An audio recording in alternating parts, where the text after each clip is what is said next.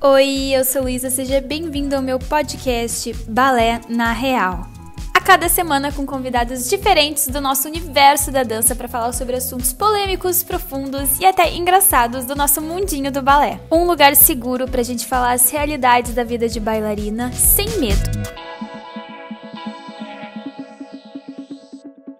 E começando mais um episódio de Valena Real Podcast por aqui. E este é o nosso último episódio da primeira temporada. Não, o podcast não vai acabar, a gente vai só encerrar né, esse, esse primeiro ciclo aqui. Vamos tirar duas semaninhas de pausa e depois a gente vai voltar, porque eu quero dar uma reformulada no formato do podcast tudo, e tudo assim. Aí a gente volta com tudo daqui a duas semanas, tá, gente? Não se preocupa que o podcast não vai acabar. Mas como esse é o último episódio da temporada, eu quis fazer uma coisa diferente, quis fazer, né, um negocinho assim especial. E eu chamei né, nada mais nada menos que o, o, o quase novo apresentador desse podcast de tantas vezes que, que ele já veio aqui, que é o Luiz. Dá um oi aí, Luiz. Oi, gente, eu sou o especial.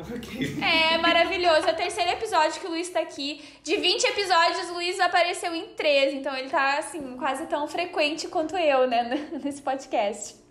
Mas uh, eu nem fiz apresentação especial porque uh, o Luiz, né, já é da casa, né, Luiz? Já, já teve duas apresentações especiais, a terceira vocês já vão enjoar, né? Não, tem mais o que apresentar aqui. Exatamente. Só falta eu estar do seu lado aí. Né? Ai, distantes, né, Luiz? Eu sou do Rio Grande do Sul, o Luiz é do Rio de Janeiro, mas assim, uh, próximos, próximos de, no coração. Gente, mas olha só, deixa eu explicar como é que vai ser o episódio de hoje. Eu e o Luiz estamos aqui juntos no Skype. Junto mais longe.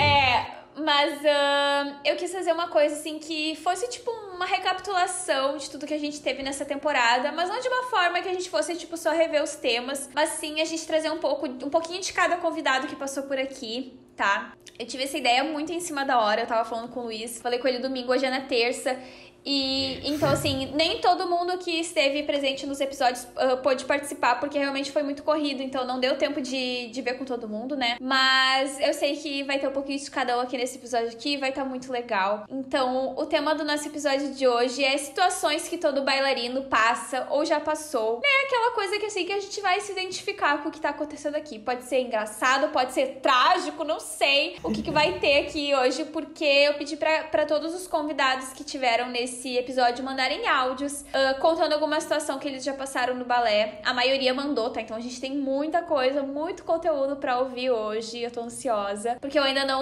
ouvi os áudios, nem o Luiz, então vai ser tudo uma surpresa pra gente, né, Luiz? Eu não sei nem quem mandou, mas vamos lá. É, é, eu vou, eu tô aqui com. Gente, é muito áudio mesmo. E as pessoas se empolgaram, hein? Não é áudiozinho assim de tipo 30 assim. segundos, um minuto. Tem áudio de 6 minutos aqui pra gente ouvir. É. Tem história, é pessoal gosta de falar. Então a gente vai ouvir aqui. Luísa, agora que eu me dei conta, eu sei que o pessoal já te conhece, mas aí dá um. dá uma esclarecida aí quem tu é pra, pra, pra pessoal aí, caso alguém ainda não tenha ouvido teus episódios. E caso não tenha ouvido, vão ouvir, porque estão muito bons os episódios tem do Luiz, né? Episódios. Já tem dois episódios. Eu sou o Luiz do Dança com o Luiz, né? Eu posto a minha trajetória no balé adulto, né? Que vai fazer dois anos que eu comecei. E aí eu posto lá as coisas engraçadas, as coisas tristes. Mais as coisas tristes aqui. É. Mas é a realidade, né? Mostra a realidade. É, Mas é isso. Uh, eu e o Luiz, a gente é amigos virtuais, porque a gente virtuais. não se conheceu pessoalmente, mas a gente é íntimos, né, Luiz? É verdade. Muito íntimos. A gente fica se mandando. Só falta se juntar, né? É, Reels e memes no Instagram todo dia. A gente se manda 50, 50 por dia. Agora e... a gente tá na fase dos vídeos bicho. É, é verdade. A gente passou da fase do balé pra gente ficar assim, eu queria fazer isso, agora a gente tá no bicho. Né? É, agora a gente tá lá, né? Bom, vamos ouvir então aqui o primeiro áudio. Eu vou dar sempre uma introduzidinha na pessoa que, vai, que mandou o áudio pra gente se localizar aqui, porque foi uma temporada Bem muito incrível, né? com muitos convidados. Os episódios que o Luiz participou, quais foram mesmo, Luiz? Nem me lembro mais. O primeiro foi com a Babalé, né? Da Nossa. comparação de bailarinos. Foi o segundo episódio desse um podcast. Foi com a Ju e o outro. É, com a Babalé de comparação. Babá, meu Deus! é verdade. Foi, foi o segundo episódio do, do podcast. E o da Ju, eu não lembro qual foi o número, mas era aquele sobre gordofobia Sim. e questões do corpo, Eu autoestima. lembro da Ju porque faz pouco tempo. É, faz. A é, é um- acho que foi um dos primeiros, né? Então, Foi o segundo episódio. tempo. Foi no o da passado, foi, foi o segundo episódio do podcast. Então, assim, é muito recente. É muito recente, não, muito antigo. É o mais antigo que tem. É. Bom, o primeiro áudio é da Dri, do Mundo Bailarinístico, tá? Que eu vou tocar aqui pra gente ouvir. Não faço ideia do que, que ela mandou. Não ouvi nenhum áudio, na verdade. A Dri, ela participou de um episódio que tava ela e a Lara da Latelier, que a gente falou sobre empreendedorismo no mundo da dança, né? Que a Dri, ela tem a lojinha do Mundo Bailarinístico, a Lara tem a Latelier, que é de enfeites de coque. Então vamos ver o que, que a Dri mandou pra gente, né? Oi, gente, tudo bem? Aqui é Adri do Mundo Bailarinístico. Tô passando para falar aí coisas que todo bailarino passa. Então eu lembrei de perrengues na coxia. A coxia é um caso à parte, né? A gente sempre fica desesperado, vontade de ir no banheiro, esquece a coreografia, é, fica curioso para saber quem vai estar tá assistindo a gente, conta as fitas do linóleo para lembrar onde que é o seu lugar, percebe que tem gente que vai entrar da coxia errada, e tem gente que tá aparecendo na coxia e faz silêncio e é muita coisa ao mesmo tempo. E a minha história é de um menino que esqueceu a roupa a camisa. Então tava tudo pronto, já tinha feito minha oração, tava pronta para entrar, eu era a primeira da fila. E não entrava, não acontecia. Aí o que que aconteceu? Ah, o menino não tem a roupa. Ai meu Deus, ele não tá, não tinha camiseta. Eu falei, manda o outro tirar a camiseta, eram só dois meninos. Aí entre os dois sem camisa e fez conta que é figurino. Mas no final acharam uma camiseta branca para ele, acabou entrando fora do figurino, mas disfarçadamente. E no final sempre dá tudo certo. Um beijo, um beijo Lu, até a próxima. Eu amei que a Adri trouxe um milhão de situações, né? Da primeira ela falou de tudo que a gente passa na coxia. Luiz ainda não se apresentou, né, Luiz? Então ainda não tem essa. Mas eu com certeza farei isso, tenho certeza. É. Mas é, é uma prévia do que tu vai passar, viu? Vontade de fazer xixi antes de entrar Espero no palco. Nervosismo, relembrar a coreografia, isso tudo. Isso, é, isso com certeza todo mundo que já se apresentou passou. Mas eu fiquei apavorada com o guri que esqueceu o figurino. E tipo assim, não é um acessório, é a camiseta, né? É a camiseta.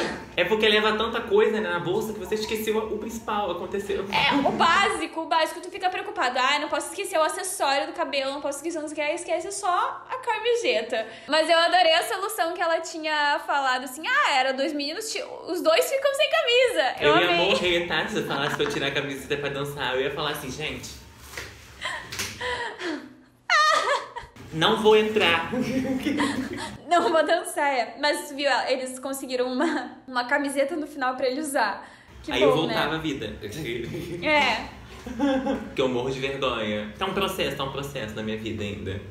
Não, mas eu, eu também dancei sem um pedaço de figurino, meu Deus. É, céu. eu já, tô, eu já tô me achando super vencedor de estar usando roupa colada com- no meu corpo pra fazer aula de balé. Eu tô achando tão revolucionário. Um passo de cada vez, né, amigo? Tão um passo de cada revolucionário. vez. Um passo de cada vez. Vou botar o próximo áudio. Deixa eu ver de quem que é esse próximo áudio aqui. Esse aqui é da Lari e do Nando, que são balé couple. Moram lá na Rússia. Agora eles estão aqui no Brasil, né? Eles estão aqui no. Brasil. Mas eles são de uma companhia lá da Rússia. E eles participaram do episódio que a gente falava sobre dançar fora do país. Que é, eles têm super experiência nisso, né? Eles né, dançaram profissionalmente na Rússia ali por mais de dois anos. Eles estão só por um período aqui no Brasil, daqui a pouco eles voltam pra lá. E foi um episódio que a Rafa Pandolfi também participou, que ela estudou fora, né, lá no Canadá também por vários anos. Vamos lá pro áudio deles então. E aí, pessoal, estamos muito felizes por estar aqui de novo nesse podcast com a Lu. É isso aí, é sempre um prazer. Muito obrigada, Lu, pelo convite. A gente adorou gravar contigo. E agora vamos contar então uma situação que todo bailarino passa, mas eu acho que as nossas situações são um pouco, Um pouco específicas. Mas eu acho que todo mundo vai se identificar. Passou por algo forma. parecido, talvez. É, eu começo você. Pode ser você. Então, a situação que eu vou contar é uma situação de errar coreografia no palco. Acho que todo mundo já aconteceu, né? De dar um errinho. E a minha, bom, já aconteceu outras vezes, mas a que eu vou citar é a que, quando a gente tava vindo pro Brasil agora, em março, a gente viria no dia 1 de março. E a gente teve uma apresentação no dia 28 de fevereiro, que foi de Lago dos Cisnes. Só que, como vocês sabem, né? Os conflitos que estão acontecendo por lá e tudo que a gente teve que fazer. A cabeça tava mil, A né? gente tava doido, assim, comprando passagem no dia do voo, praticamente, arrumando mala, arrumando tudo. Então, eu tava doida. Você não tem noção. Doida. Você tem que ser mais específica. O espetáculo era no domingo. E daí a gente já viajava na segunda. A gente tinha que pegar trem, avião, a gente deixou o apartamento inteiro pronto pra mudança. Então, essa é a loucura que a Lari se encontrava. Exato. E aí, imaginem, né? Inclusive, a gente fez um vlog mostrando um pouco dessa loucura. Quem quiser, vá lá no canal pra saber um pouquinho mais. Mas tinha apresentação de Lago dos Cisnes. E aí eu estava com a cabeça totalmente fora da apresentação, né? Eu não tava pensando na apresentação, eu tava pensando em como seria a viagem, como que a gente ia fazer, como que a gente ia fazer com Simba e apartamento e tudo mais. É, logo no primeiro ato, que eu danço valsa, né? Então eu entrei, foi pra entrada e aí tudo começou a acontecer muito rápido na minha cabeça. Eu não tava conseguindo pensar nas coisas que eu tava fazendo. E eu já dancei Lago dos Cisnes muitas vezes e valsa dos Lago dos Cisnes também muitas vezes, assim. Sabia tudo. Então eu sei tudo de olho fechado, sabe? Só que com a cabeça daquele jeito, teve um momento que a gente tem uma pausa e depois começa a dançar de novo. Quando a gente começou a dançar de novo, eu comecei a fazer qualquer coisa, eu era a primeira da fila. Quando eu virei para trás, que a gente fazia tipo uma valsa valsa Anturnã, assim. Quando eu virei para trás, eu vi que todas as meninas estavam olhando para mim com uma cara assim apavorante. E aí tava uma fazendo para cada lado. E aí que eu entendi que eu que errei, né? E que aí algumas meninas tentaram me copiar, algumas meninas fizeram certo, só que pareceu que elas fizeram errado. Então assim, foi uma doideira, porque eu não sabia mais o que fazer até que eu parei na próxima pose e, e aí eu só pensei assim, meu Deus, e um palavrão, né? Mas aí eu pensei, nossa, vou levar um xingo gigante. Mas aí na minha cabeça eu só faço assim, eu tenho que aguentar até o final desse espetáculo, calma, não erra medita, mais nada. eu só não posso errar mais nada, eu só não posso errar mais nada. E aí, enfim, que quando a gente chegou no final da apresentação, eu achei que ia levar um grande sermão. Porém, não. Eu acho que o diretor e as professoras, eu tenho quase certeza que eles me deram um desconto por causa de tudo que estava acontecendo. Então, eles sabiam de por tudo que a gente estava passando. Eu acho que isso é uma possibilidade, mas também é que dentro da Lari, que vivenciou tudo e foi tudo assim, né, pra ela tão grandioso, na hora foi tão rápido que, tipo, eu passou. acho que eles viram, não é impossível não, eles não eu acho visto. que viram, mas aí passou e teve o restante do Impossível. balé, entendeu? Então, tipo, deu uma amenizada. Eu acho que se fosse no final, assim, ia ser um pouquinho pior. Mas no É, mas começo ainda ainda tinha mais três, quatro atos. A única, as únicas pessoas que me deram um sermãozinho foram as minhas amigas, então foi super tranquilo. Mas, enfim, agora vamos pro Nando. Pera, vamos fazer uma pausa antes da história do Nando pra comentar a história da Lari. Pior é que o dela, eu, acho- eu acho pior no começo, porque tá no começo, depois tem mais três atos ainda pra você dançar e aí deu ruim. Eu ia Sim. acabar com a minha vida, ia acabar com a minha vida. Eu ia ficar tão desolado de ter errado no primeiro momento. Então, isso aconte eh, aconteceu parecido comigo, não, tão, não tanto que nem o dela, assim, mas na nossa última apresentação agora, que foi de lago também, e foi na valsa da mesma coreografia dela, eu dei uma erradinha, mas não foi de coreograficamente, assim, que nem ela, eu errei o tempo, que era uma parte que eu tava muito nervosa pra fazer, porque tinha que ajoelhar, e às vezes eu Aham. esquecia de ajoelhar no ensaio, e daí eu tava tipo assim, eu não posso esquecer de ajoelhar, eu não posso esquecer de ajoelhar, e daí eu ajoelhei antes do tempo. Aí você. tipo assim, meio segundo antes, sabe? Um tempo antes, assim. Mas Ajoelhada- apareceu, né? Ajoelhada tipo, sozinha. E daí. É, eu, eu, eu Sim. fui, daí eu vi que tava antes, daí eu fui indo meio devagarinho, assim, sabe? ativando os músculos assim. hum, Tô É, segura! tô errada. É, mas a, a Dalari realmente, quando, tá, quando a gente não, não tá ali naquele momento presente, né? Que nem eles estavam passando por um monte de coisa, imagina a loucura que foi. É difícil É. manter o foco, assim. E ainda que ela, que nem tu disse, né? Foi no início do espetáculo pra manter, segurar até o final. Tu tendo errado lá no início, assim, é, é difícil, hein? E a valsa é, difí- é complicado pra acertar a valsa de volta quando você sai do tempo, né? Quando você erra, pra você voltar pra valsa. eu Não. assim. Meu Deus, não, e ela não errou o tempo, ela errou a coreografia. Imagina, tu tá com a perna errada, daí tu tem que trocar a perna, o bug mental que isso dá. Eu faço Nossa, isso na aula, é muito imaginar. engraçado. Eu faço isso em aula, aqui no canto. Eu faço com a professora, ela fala, tá errada, eu. Ah! Assim. E agora o que eu faço? Eu sempre sorrio, porque eu acho que o sorriso vai sempre apagar todo o meu erro, eu fico. É isso aí, é isso aí, faz cara de paisagem. Segue o baile.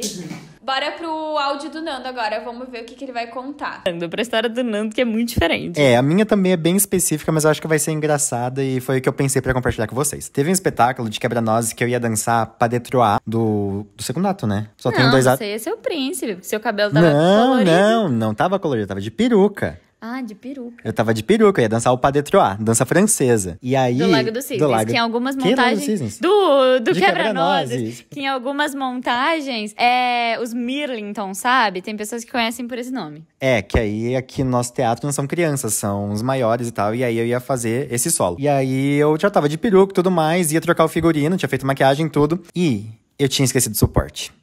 E aí a minha malha era branca. E não dá pra colocar uma cueca e entrar pra dançar. Tem que ser o suporte, ser o porque suporte. é específico pra isso, ainda mais um teatro profissional, tá doido? A minha sorte é que a gente morava, mora, né, perto do teatro, coisa de 5, 10 minutos. Mas já tava perto de começar o espetáculo. Já tinha começado o espetáculo, porque como eu era no segundo ato, eu fui quando eu tava pra, pro teatro, quando tava pra começar o espetáculo. Mas só deu eu, colocando uma touca pra esconder um pouco da peruca branca, com rabinho de cavalo, e fui todo maquiado mesmo, correndo pela rua. Voltei totalmente aquecido pro espetáculo, mas eu já tava, Foi- tipo... Ele foi até em casa, não sei se deu pra entender. Ele foi até em É. casa buscar o suporte. E no final deu tudo certo. Eu cheguei assim, tipo, já tava pra começar o segundo ato. E aí eu não faço a primeira entrada, né? Que, que entram todos os bonecos, eu não participava. E aí, pra mim, a coreografia ainda teve um tempinho, assim, pra eu dar uma respirada, remanter o fôlego, colocar o figurino. E aí entrar. No final deu tudo certo, não teve esporro. Quase ninguém ficou sabendo, mas foi desesperador. Eu imagino que seja desesperador. Quem nunca mesmo. passou de esquecer alguma coisa? Mas se tu esquece uma maquiagem, um grampo, tu pede pede emprestado. emprestado. O suporte o não suporte. dava, não dava. Enfim, gente, essas foram as nossas histórias. Eu espero que vocês tenham gostado. É, quem quiser comentar alguma coisa, que se aconteceu algo parecido com vocês, manda lá no nosso direct do Ballet Couple, que a gente vai adorar saber e conversar um pouquinho. Isso aí, parabéns, Lu, por todo o trabalho que está fazendo. Pra gente é sempre um prazer estar aqui compartilhando as nossas vivências também. E um beijão pra todo mundo. Beijo! Tchau, tchau! Sucesso ao podcast e a próxima temporada. Maravilhoso. Meu, ah, eles são muito fofos, né? Primeiro, Ah, antes da gente comentar o áudio todo. Eles são muito fofos, Esse, a, inclusive- a Lari o Nando, eu amo eles. Cara, eu pensei que ele ia fazer igual na série Na Fileira. Acho que você não terminou de assistir, né? Na Fileira, você parou de assistir. Não, não terminei. Na vileira não terminei. Essa Aconteceu uma situação parecida na Fileira. Eu achei que ele ia fazer o mesmo. Tu não me dá spoiler, tu não me dá spoiler da Quem assistiu sabe. Vileira. Mas esse Cara, negócio ele correu de esquecer muito. coisa. É sorte que ele morava, eles moravam perto, né? Eu sempre fico pensando quando a gente vai pra festival, que é em outra cidade, daí tu tem que, tipo, arrumar a mala pra ir pra apresentação. Não ia ter como. Eu sempre fico em pânico, tipo assim, imagina se eu esqueço alguma coisa. O que, que eu vou fazer? Né? Não dá pra esquecer, não tem essa opção. Tem que Não levar tem. tudo, né? Ia ter que arrumar alguma coisa lá. O bom é que festival sempre tem uma lojinha na frente, né? Se você esquecer É, qualquer coisa, você é. corre lá e vê se tem. Ele É, tava no quando- teatro, não tem como! É, quando é alguma coisa assim, tipo, ai, que dá pra comprar no festival, tudo bem. Agora o problema é quando é pedaço de figurino, né? Aí não tem o que fazer. Aí você esquece a ponta. Mas essas. É, é, é, essas coisas eu sempre tento resolver sem falar pra minha professora. Eu só falo pra minha professora quando não tem mais saída, né? Porque pra que, que eu vou enfiar um estresse a mais na cabeça dela no dia da apresentação, né? Primeiro eu tento resolver com o que dá e que ela nem fique sabendo. Depois a gente conta, ri da história, depois que já foi resolvido, né? Agora, quando tá ali naquele momento de tensão, é que nem ele falou, quase ninguém ficou sabendo da, da história dele. Porque o estresse que gera, né, no grupo, no negócio ali, é tenso. Cara, ele esqueceu. É o princípio. É tipo esquecer a ponta, a bailarina, né? É. É tipo aquilo que tu não pode, né, não ter. Enfim, tem que, tem que ter, Acho né? que foi pior, ter usar. esqueci... foi pior ter esquecido a blusa. É. O outro esqueceu a blusa. É, ainda dava pra dançar sem blusa, né? Tinha essa opção ali na história da Dri. Agora, esse aí não tinha o que fazer. Não tinha o que fazer. Cada coisa, né? Adoro. Agora a gente ri. Sim. Ó, o próximo áudio é da minha amiga Ju. Ela participou do primeiro episódio ah, do Ah, é? podcast, que foram as minhas três amigas do balé. As três mandaram áudio, viu? E esse aqui é da Ju. Vamos lá ouvir o áudio dela. Oi, gente, meu nome é Ju. Eu participei do episódio piloto do podcast Balena Real e a Lu pediu que eu viesse dar um alô para vocês. Uh, eu queria primeiro dizer que eu fiquei muito lisonjeada quando a Lu me chamou, né, para participar do podcast dela, ainda mais fazendo episódio piloto. E fiquei muito, muito, muito feliz com a repercussão que teve depois, né, com as pessoas comentando e vendo que a gente vivia as mesmas coisas e sentia as mesmas coisas. Então, nossa, para mim foi uma experiência incrível e eu fiquei muito feliz mesmo com tudo que aconteceu, né? Tudo que veio depois, a repercussão e o quanto tá fazendo sucesso pra Lu, eu acho que ela merece muito, muito, muito. Acho que ela trata de vários assuntos que todo bailarino já passou, então eu tenho certeza que vai ter muito sucesso. E eu vim contar um caso meu, né? Uh, na verdade, é um caso de causa de palco né, que eu passei. Uh, eu agora tô fazendo balé, mas eu me apresentava mais com dança de salão, né? E todo mundo sabe que dança de salão a gente tem um parceiro, né? E eu uma vez estava dançando, era um samba, e o meu parceiro, no caso, era um aluno, era monitora da escola, né? Os monitores são aquelas pessoas uh, que estão ali para ajudar, assim, né? Para ajudar o professor, enfim, a dançar com os alunos. E aí, esse aluno da escola, ele tava dançando comigo, e a gente fazia um giro e depois se encontrava, se abraçava para continuar dançando. E aí, ele simplesmente girou pro outro lado, pro lado oposto do palco e saiu caminhando totalmente pro lado oposto que ele deveria me encontrar. E quando eu acabei meu giro, eu fiquei sozinha no palco e eu tive que correr atrás dele. A sorte é que a coreografia era de samba e ele era um samba todo assim do malandro, sabe, da malandragem. E aí eu me fiz muito de louca, assim, fiz como se fosse de propósito, assim, tipo, ah, isso tudo tava friamente calculado. E fui correndo, assim, fazendo de conta que eu ia chamar ele. Mas na hora eu entrei meio em pânico, assim, quando eu terminei o giro e ele não tava onde ele deveria estar. E na hora eu acho que ele nem notou o que que tava acontecendo, assim. Eu só peguei ele, girei ele de novo para ir pro lado certo. E esse foi o meu mico de palco. Já tive vários, mas esse é um que eu me recordo agora. Queria mandar um beijo para todo mundo aí e muito, muito, muito sucesso pra Lu. Eu tenho certeza que esse podcast vai continuar sendo incrível. Valeu, gente. Beijão. Gente, querido, aqui, o pânico. O pânico, não. E o poder de improviso, né? Eu não tenho esse poder de eu improviso. Eu também não. Eu, eu erro uma coisa, eu entro em pânico. Eu entro em pânico e não faço nada. Eu ia ficar assim, congelado. Assim. Terminou o giro. Não, primeiro que depois do giro eu já tô tonto. Aí eu. Onde que tô? Ai, Ainda tem que Deus. procurar alguém. Eu seria o menino, com certeza. Porque eu ia estar perdido lá, no- lá no final do, do palco. Eu imagino a cara dela assim. Aqui, ó. Aham. Bem. Amado, amado, cadê você? Ai, meu Deus. Eu ia, eu ia entrar em pânico, eu não ia sair Eu que nem também. ela, assim, saiu de boa. Eu, eu ia dar pra ver na minha cara que, que tinha dado alguma cagada. Eu e ainda também. ia parecer que eu errei, porque eu ia, eu ia fazer a cara de, Eu não consigo também de que disfarçar. deu errado, sabe? É muito difícil não saber disfarçar a cara, né? Porque a gente não consegue É esconder. muito. É muito. É, às vezes tu até consegue improvisar ali na hora e, e ajeitar, mas a cara é difícil de. É, o corpo vai, mas a cara de pânico. A cara do pânico, né? A cara do pânico, é. Às vezes tu até tá sorrindo, mas tá lá no fundo dos teus olhos, sabe? Aquele. Socorro, é. É, mas assim, errar, porque dançar de dupla, dançar de grupo é isso, né? Quando tem alguma coisa com a outra pessoa, porque depende dos dois, né? Aquela dança. Então, se um erra. Tipo, tu depende daquela pessoa pra fazer o resto da coreografia, né? Então é meio que tem que estar muito, muito sintonizado, assim, a, a dupla. Que bom que ela soube contornar e ele acompanhou ela, né? Ainda Porque ele também poderia ter entrado em pânico. Ele nem teve tempo, ele tava girando tanto. É, nem deu pra reagir, nem deu pra reagir, só foi. É, mas também porque ela era instrutora, né? Então a instrutora ele só foi, só confiou. É, isso aí. É sobre isso, né? É sobre confiar. É. Ó, o próximo áudio é da Yasmin. Ai, amo. E ela participou do episódio de Baby Class, que a gente falou sobre dar aula pra Baby Class e tudo. Será que vem uma criança E- louca aí na história? É isso, né? Próximo áudio da Yasmin. Oi, gente, tudo bem? Aqui é a Yasmin Chesling. Pra quem não se lembra, eu participei do 14º episódio dessa temporada do Balé na Real Podcast. Nesse episódio que eu participei, a gente falou bastante sobre situações que todo professor de balé e professor de baby class passa. Existem muitos padrões e muitos clichês na vida dos bailarinos, né? Todo mundo passa por situações muito parecidas muitas vezes, e se tem um clichê que eu passo quase diariamente, é quando você tá lá pleno, na aula, fazendo o exercício do jeitinho que o professor pediu. E no momento que ele olha para você, você erra. Eu passo por isso quase que diariamente, gente. Eu acho incrível. Eu posso ter decorado pasta, fazendo tudo certinho. Se o professor olhar de relance para mim, eu já caio da pirueta, não sei vocês. Queria também aproveitar para agradecer e mandar um beijo para cada um de vocês que acompanha o podcast, que comentou no episódio, que tornou tudo isso uma experiência incrível. Muito obrigada e um beijinho. Aê! Cara, é muito verdade. Não, esse áudio dela é, é tipo.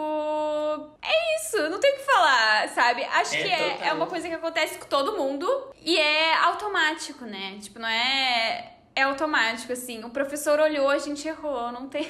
Cara, e teve uma vez que eu tava fazendo uma sequência e eu, primeira vez que eu acertei a sequência, aí a professora me chamou, eu, eu achei que eu tava errada, eu parei, eu fiquei. Aí ela, continua! Tava certo, né? A gente tá tão acostumado a estar sempre errando que quando a gente acerta, a gente não É. acredita. E agora tá pior, tá? Porque eu fazia com turma, é online, né? Eu faço online ainda. E eu fazia com turma, só que agora eu não tenho mais o horário pra fazer com turma, então eu tô fazendo sozinho. Oh, então tá tudo em cima de ti. Caos, pânico e Tem que destruição. carregar tudo nas costas, Luiz. Carregar nas Sim, aí eu não tô costas. acostumado ainda, porque eu só fiz uma aula, né, com ela, sozinho. Não, uma ou duas, não sei. E aí eu não tô acostumado ainda, porque agora não tem como copiar de ninguém. É, e agora é os, os, os olhares só pra ti, né, Luiz? É, e eu amo que ela é igual a mim, ela ri também quando eu tô errando, que ela começa a ficar nervosa, igual eu. Aí ela tá rindo e eu tô rindo também, tá uma risaiada só, todo mundo errando. É E eu sozinho, É eu falei, gente, não tô gostando, não tô gostando, quero uma turma. Não, é isso. E o pior não é só quando a gente erra, quando o professor olha. O pior é quando a gente acerta e o professor não vê, né? É sempre assim. Quando a gente erra, o professor tá lá olhando. Agora, quando a gente acerta, quando faz um negócio bonito, quando faz uma pirueta dupla, quando faz o, né, acerta o passo, aí o professor tava, ai, alguém chamou, né? Tava olhando pro outro lado. Ou então quando a gente quer gravar pra poder ter de memória, nunca sai, né? Aí quando tipo, para de é gravar. verdade. Quando para de gravar, a gente acerta, Não. dá um ódio. Ai, sacanagem. Sacanagem. O próximo áudio é da Bela. A Bela é da bailarina preparada. Ela participou do episódio de pré-pontas, que foi com a Laura do Nas Pontas. Vamos ouvir o áudio dela aqui então. E aí, Lu, e aí, gente? Tô mandando esse áudio aqui, contando uma história, né? Alguma situação que acho que todo bailarino já passou. E a minha situação é de figurino, né? Problemas com figurino. Então, já aconteceu isso não só uma, mas várias vezes de figurino arrebentar antes de, de entrar no palco, ou de ver que tava alguma coisa furada, ou até mesmo de pagar aquele peitinho durante a coreografia. Acho que essas situações assim de figurino são sempre muito engraçadas, mas faz parte da experiência, né? Acho que todo mundo já passou por isso. Se não passou ainda, pode anotar que vai passar. e quero agradecer aí a Lu por pelo convite por ter participado nessa temporada. Então, quero mandar meu beijo aí muito especial para Lu e para todo mundo que tá aproveitando aí o podcast. Nossa, não. Eu Nossa. acho que pior que esquecer a roupa é arrebentar, muito pior. Eu não lembro de ter passado assim, de arrebentar no meio ou de abrir no meio, mas já aconteceu com a minha sapatilha. Ah. Dela sair do calcanhar. Ah, Não que foi nem desamarrar, porque eu costuro a sapatilha em mim, sabe? Eu, tipo, costuro Na o nozinho pra não desamarrar. Mas ela saiu do meu calcanhar no meio da coreografia. Olha que Ah, beleza, sapatilha de ponta. E como é que continua? Não, assim, na base do desespero. desespero. Você arranca, você tenta subir nela desamarrada? Não? É, é que era coreografia de grupo, né? Quando, eu, quando aconteceu comigo. E daí tinha uma parte que a gente que eu saía e depois eu entrava de novo. Daí Maravilhoso, a melhor. sapatilha. Mas até lá, até lá, eu segui tentando, assim, ó, fingindo que. Tipo assim, tentando fazer do jeito que dava, sabe? Eu segue o baile. Com cara de pânico, sorrindo, sorrindo, mas com cara de pânico, sabe? O Um sorriso do, o sorriso do pânico. Foi desesperador, foi desesperador. Agora, figurino, nunca aconteceu do meu arrebentar, mas já aconteceu de colega, assim, de tipo, cair a alça. Teve uma amiga minha que a nosso figurino tinha franjas e a gente dançava com argola. E a franja perdeu no, no brinco. E ela tava fazendo, tipo, fuete italiano no palco. Fuete italiano, amigo. E daí ela fazia o fuete assim, sem descer o braço, ó. Porque se descesse ia arrebentar a orelha dela ou a roupa. Se fosse a roupa, Mas Era aí logo melhor. em seguida é, logo em seguida ela saía. Tipo, ela fez o foi E ela fez, e ela conseguiu fazer aquela cavala. ela fez aqui, ó, a Natália, ela fez aqui, ó. Tchá, tchá, foi ter. Eu tô imaginando todo mundo com o braço abaixado e ela aqui, ó. Ah, não, era só Todo ela, era mundo. tipo um solinho, era um solinho no Que meio da bom, coreografia. então! Eu imaginei um O grupo resto era todo. corpo de baile. Mas assim, imagina fazer o feito italiano sem poder abaixar, porque o feito italiano tu Não levanta. pega nem o impulsinho, né? Abaixa e sobe, levanta, abaixa e sobe pra pegar o impulsinho, né? E ela fez tudo aqui, ó, na base do. da fé, não sei, do desespero. O É. negócio prendeu na orelha. Forte e preparada, porque eu não conseguiria. Nossa, eu nem eu. Eu ia perder o ia equilíbrio na chorar. hora. Eu ia perder o equilíbrio na hora. Isso aqui, ó, ia me deixar tombado pra esse lado aqui, certeza. Eu ia ficar assim, ó. É, é, é, eu não sei como é que ela fez, assim, é. Nossa, assim. Desespero. A força do desespero. Aham, mas é, sempre tem questão com figurino, né? Não adianta. Sempre, sempre dá alguma coisa com figurino. Cara, eu tenho certeza que aconteceria comigo de arrebentar na costura. Sempre acontece. Arrebentar a costura. ah, É, tipo na costura da roupa, sabe? Ou do fecheclé. Eu sim. tenho certeza, porque eu tenho mania de ficar puxando a roupa assim, ó. Pode acontecer. Pode Ou então pra me acontecer. vestir, quando eu tô vestindo assim, eu vou puxando. Eu tenho certeza que eu ia arrebentar a costura. Ah, é, é desesperador, né? Mas acho que todo mundo que já passou por isso, assim, quem. Ou passou ou conhece alguém que passou, sabe aquela coisa assim. E se tu ainda não passou é porque tu vai passar. Deus queira que não. Ah, Que nem quando a minha sapatilha ficou, foi ficando velha, inclusive essa, que tá até aqui do lado, ela foi arrebentando que a minha cachorra comeu a, o negócio. Aí eu tô dançando, fazendo aula, porque eu não comprei outra ainda, pra dentro, então fica horrível, né? Só que aí todo, eu postei no story, aí todo mundo fala assim, troca a alça, costura. Aí eu falei, gente, eu não vim com essa habilidade, não sei. Porque eu acho que o povo vem pro balé já vem com habilidade de costura. Eu não tenho, amigo, infelizmente. adquire, adquire que Olha vai só. ser necessário, entendeu? Eu só tenho um Aprenda. lado, eu só tenho um lado. Tem que aprender, tem que aprender, porque Ela falou, olha. gente, não veio, não Bailarino veio. não é costureiro, mas, mas tem que saber pelo menos o mínimo, assim, porque sempre acontece essas coisas. E às, às vezes, assim, não- o figurino não arrebenta na apresentação no palco, mas arrebenta, tipo, no ensaio geral. Aí tu tem que ir lá correr antes da apresentação Meu costurar, Deus. entendeu? Gente, eu tô com esse negócio na mão, porque eu tô com calor, tá? Aqui no, no Rio de Janeiro tá muito quente e eu tô de frente pro sol. Aí toda hora eu tô vendo aparecer um negócio brilhando assim, é porque eu tô aqui embaixo no off assim, ó. Com a tampinha, se abanando com uma tampinha. É, minha, né? É a ótimo. tampinha da, da- do meu pote da, Pote. da minha Teraband. Maravilhoso. Aí eu, tô, eu fico com ela aqui que dá um ventinho tão bom. Isso, isso tudo é pela qualidade do áudio que o Luiz se preocupa, porque se ligasse o ventilador ia ficar um barulhão, né, Luiz? Aí, é, isso é um sacrifício que ele está fazendo pela qualidade do áudio desse podcast. Quero mil likes, cheguei. É isso aí. Bom, a próxima história é da físio Andresa Lima. Ela gravou também um episódio aqui sobre lesões na dança e tudo. E vamos ver o que ela mandou aqui pra gente. Vamos ver. Meu caso foi o seguinte, eu não sei vocês, mas eu sempre tive a perna esquerda mais flexível do que a direita. E aí eu fui fazer um solo, na época era o candelabro na, no espetáculo da Bela e a Fera. No final desse solo tinha um grande K com a perna esquerda à frente, que era a minha perna boa, né? Então eu lá, linda e bela, finalizando o meu solo. Vocês não sabem, gente. Eu simplesmente dei um branco e desci com a perna direita, que era a perna que não tinha abertura. E aí, simplesmente fiquei lá, né, fazendo close no meio do caminho, porque minha perna não descia 100%. Como era solo, graças a Deus, ninguém percebeu que eu tinha errado, mas assim, o meu lindo grande K que eu tinha treinado todo esse tempo não saiu, porque somente a minha perna esquerda era trabalhada. Gente, coitada! Cara, ela fez. Do nada ela jogou um contemporâneo, segurou assim a abertura no meio do caminho, ó, e virou de lado, caiu Né? no palco. Tinha que ser forte, tinha que ser forte, né? É, pra não, é, é a força do desespero. É a força do desespero. Eu ia cair de cara no chão se eu não conseguisse. Eu também. ia Na hora que eu, que eu visse que minha perna não tava descendo, eu ia cair pro lado assim, ó. Eu ia cair pro lado. Aham, ia ser aquela coisinha, vai abrindo, vai abrindo. Pum! Fazer assim com as pernas no alto. Aham! Aí ele ia ficar com as perninhas pra cima. Meu Deus, mas que Ah, eu nunca, eu nunca Assim. fiz, mas eu acredito que provavelmente quando sente dor no palco, você tá olhando pra ela tá assim, aí você vira pro chão. Eu faria isso, certeza. Ou eu faria pros dois, o palco ia vir minha cara. Amigo, mas eu vou te dizer, no palco a gente não sente dor. Existe uma coisa, uma mágica, porque tu tá tão focado, tu tá tão nervoso com outras coisas, que a dor, dor, tu não sente. Tu pode até não conseguir fazer, que foi o caso dela ali, né? Não, também não é milagroso assim, tu não vai aprender a abrir o grande cara nesse palco. Mas a dor, tu não vai sentir, sabe? Tu vai fazer e não vai, não vai sentir. Aí é até perigoso, se machuca, né? Se, se acontece alguma coisa assim, porque tu não sente a dor. Mas tu entra- tá assim, sei lá, tô com uma bolha no calcanhar. Vai dançar, tu esquece. Tu esquece da bolha, né? Tu esquece que nem isso, assim. Ela nem se deu conta que ela tava indo com a perna que ela não consegue fazer, porque não sentiu, sabe? Não sentiu a, a dor em si, assim, não sente. É adrenalina pura. o meu É, lado não. bom era o direito, mas agora que eu parei de me alongar por causa do quadril, eu não tem mais nenhum. nenhum de dois tá bom. É, pois é, o meu lado bom é o direito também. É o direito. Ela fala, o dela é o esquerdo, né? O dela é o contrário. Engraçado, né? Meu flex é bom do direito, mas o meu apoio é o esquerdo.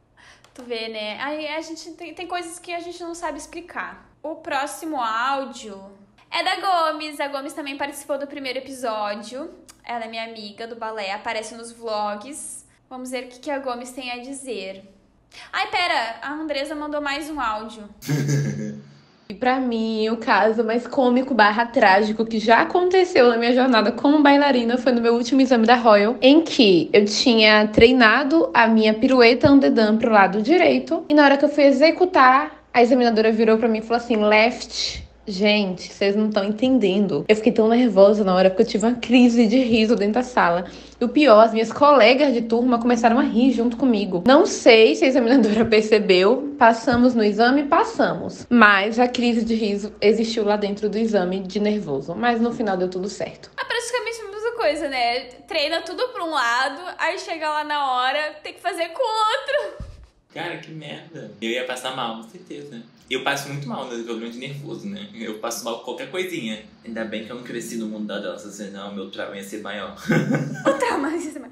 Ah, daí talvez tu, tu, não, tu fosse ser traumatizado, mas tu já ia ter superado esse trauma também, porque ia ter que superar na marra, entendeu? Não, ok. Ou ia ter desistido também, né, Luiz? Ou ia ter pulado fora. É a opção. Que eu sou assim, eu desisto. Eu saio correndo muito rapidinho. Ah, tudo bem. Tudo bem. O que importa é que agora tu tá dançando e que a Andresa passou na prova dela, mesmo tendo que fazer com a perna, com a perna que não foi boa. Cara, eu passo mal real. Eu passo mal assim, um mês de antecedência. Minha pressão sobe. É uma loucura. Socorro. Não, imagina ele chega na hora. O que que tu faz, né? Tem Minha perna ia bambear. Tem que fazer. Bom, agora sim é o áudio da Gomes, que eu falei antes, que ela participou do primeiro episódio e mandou o seu áudio aqui pra gente. Vamos ver o que a Gomes tem a dizer. Hello, hello, galerinha. Aqui é a Gomes e eu queria compartilhar com vocês um momento que eu não sei se todo bailarino já passou, mas me marcou muito. Então, num dos meus primeiros anos com a bailarina, a gente foi dançar em Alegrete no final do ano e no dia tava caindo o mundo de tanta chuva. Aí a gente acabou se apresentando num teatro. Só que tinha goteira, o palco era pequeno e nós éramos muitas, muitas nessa coreografia. E eu lembro que eu tava dançando e eu só via gente caindo, e gente caindo por cima de quem tinha caído, e gente segurando o riso no meio do palco, porque a coreografia era mais séria, assim, sabe? E eu lembro de terminar a coreografia pensando, meu Deus, a Cami deve estar furiosa com a gente. Mas quando a gente saiu do palco e encontrou ela, ela tava indo ainda mais do que a gente. Foi uma desgraça, mas a gente passou por ela juntas e a gente ri desse dia até hoje. Inclusive, ainda estamos no, no aguardo dessa, dessa filmagem. Acho que todo bailarino devia passar por uma situação de união, assim. Enfim, essa é a história que eu tenho pra hoje. Um beijo! Gente, ela tem filmagem. Ela mandou. Não, amigo, eu tava nesse dia. Ela contou uma história que eu ta- tava, porque a gente dança juntas, né? Aham. E esse dia. Não, tu não tem noção. É porque assim, ó, é uma apresentação que acontece ao ar livre. Só que já tava chovendo. E daí nos botaram num teatro que era meio improvisado, assim. Só que tava Aham. cheio de goteiro no palco, entendeu? E a gente não tinha o que fazer. Era tipo isso, assim. Era um palco bem pequeno, porque era improvisado, não era um palco oficial. Foi tipo assim, ah, começou a chover, vamos pra esse aqui, sabe? Era o que tinha. E tava cheio de goteiro porque não era um palco de dança, era um palco um teatro, era uma cidade do interior, uma cidade pequena, era um palco que tinha. E era um contemporâneo mega sério que a gente dançava. E o palco tava todo molhado, cheio de goteira. Aí tinha pose que a gente fazia assim, e daí do nada caiu, caiu umas gotinhas, as goteiras caindo Não na tem. gente, assim. Não, não tem noção. Essa, essa filmagem, teve uma pessoa que filmou.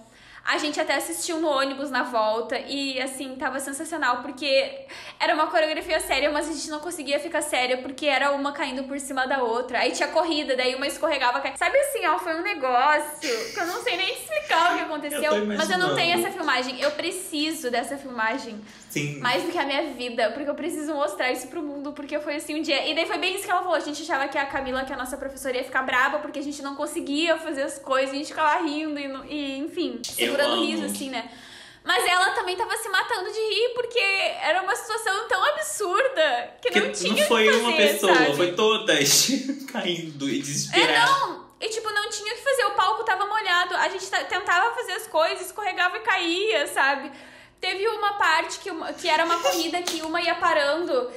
E ela ia, ia parando, ia parando. E foi um boliche de pessoas, entendeu? Porque a primeira escorregou e caiu. E daí a outra vinha e caía por cima, e caía por cima, e caía por cima, assim, ó. Vocês criaram uma coreografia em cima da hora. Foi uma coisa Exatamente. trágica. Foi um- um- uma, uma cena trágica, literalmente. Foi um conceito, assim, ó, sem explicação. Aquelas coreografias Não. bem abstratas, que a pessoa cai uma em cima da outra, É, se joga. Foi isso. foi um- As pessoas que não algo- entenderam.